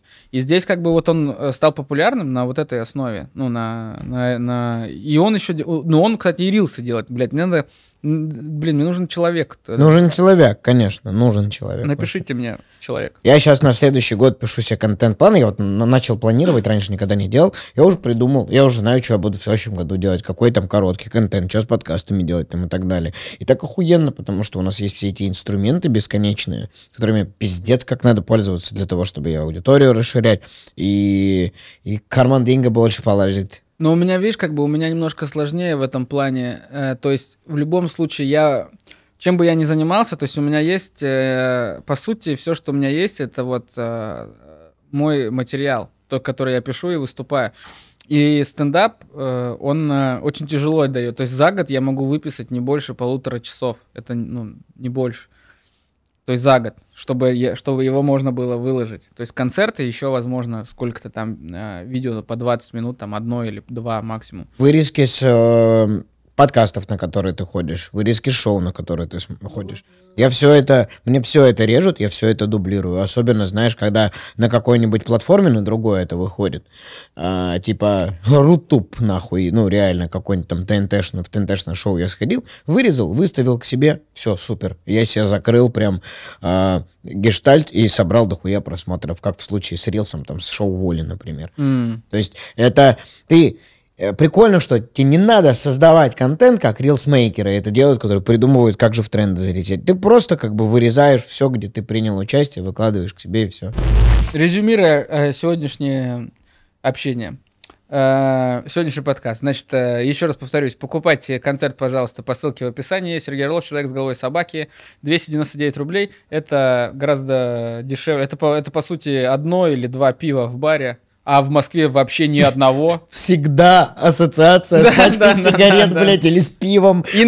Можно, всегда что угодно сказать, и такой, да купи подписку на музыку, это же стоит как пачка сигарет. Почему, блядь, пачка сигарет? Ну, 299 рублей это не так дорого, я думаю. Я думаю, я надеюсь, что это потому что... 3 доллара прекратите. Это, конечно же, недорого. 3 доллара сейчас, да. Но условно там каждый как угодно. В общем, приходите, покупайте. Плюс еще, кстати, знаешь, пример э, покупного контента, почему он лучше. К нему, есть, тем более, когда это так- такое, такая вещь, как цельный концерт, потому что ты, когда делаешь концерт, ты всегда хочешь, чтобы его посмотрели от начала и до конца. И были люди внимательны. И когда человек купил контент, он к нему более внимательно относится. Он, допустим, его купил такой, я приду вечером, включу его на телевизоре, допустим, и посмотрю. Мгм. А когда это YouTube, это всегда, ты, допустим, ты такой, блин, я туда это вложил, это вложил, а чувак такой поел, там что-то еда невкусная, он такой, «Пф, Ты переключил, что-то другое нахуй, включил. да. Да, да, да, добавляет ценности, это здорово. Да, поэтому, может быть, еще и так сработает. Поэтому по- приходите, покупайте, буду очень рад. Напишите комментарий в любых соцсетях э, о том, понравилось вам или нет. Я не знаю, просто там на, на- на сайте нету комментариев. Поэтому можете написать мне в директ, куда я не знаю, где еще. На стене, где-нибудь в вашем городе напишите. Ваше Интересно, мнение. а из-за того, что он платный, спрос тоже больше? Ну, с точки зрения, что теперь нам сложнее понравится это. Я, я не знаю, но Нужно я... понравится так же, как раньше, еще 300 рублей отбить. Я скажу, что я не халтурил. То есть я то есть, э, сразу скажу, что 2022 год был тяжелый, и поэтому писалось тоже достаточно тяжело. Но я все равно старался. Мы с кайфом заценим. Да, спасибо. Ну и приходите на концерты живые, которые вот сейчас уже, вот получается, выйдет у тебя в октябре, у меня еще в ноябре предстоит и московские, и питерские концерты. Обязательно. Обязательно. Спасибо большое, что пришел. Ой, Вам очень, спасибо, господа. очень интересно. Я обожаю подкасты с теми, у кого есть опыт в подкастах или с комиками, потому что всег... нет ни одной неловкой паузы. М. Знаешь, когда приходит на подкаст кто-то, кто никогда не был на подкасте, ты ему что-то говоришь, он отвечает, может, даже односложно, и ждет дальше следующего А. вопроса. А я теряюсь в этот момент, потому что, ну, это же беседа в первую Да, да, очередь. да. Еще не до конца люди понимают, что такое подкаст, реально. Хотя их изобилие целое, люди не до конца понимают часто. Зачастую. Поэтому огромное тебе спасибо. Да, вам тоже Ты спасибо. тот ребят, гость, приятно хочется видеть еще. Спасибо. Не, не, не сутенер, конечно, но может еще раз зайду.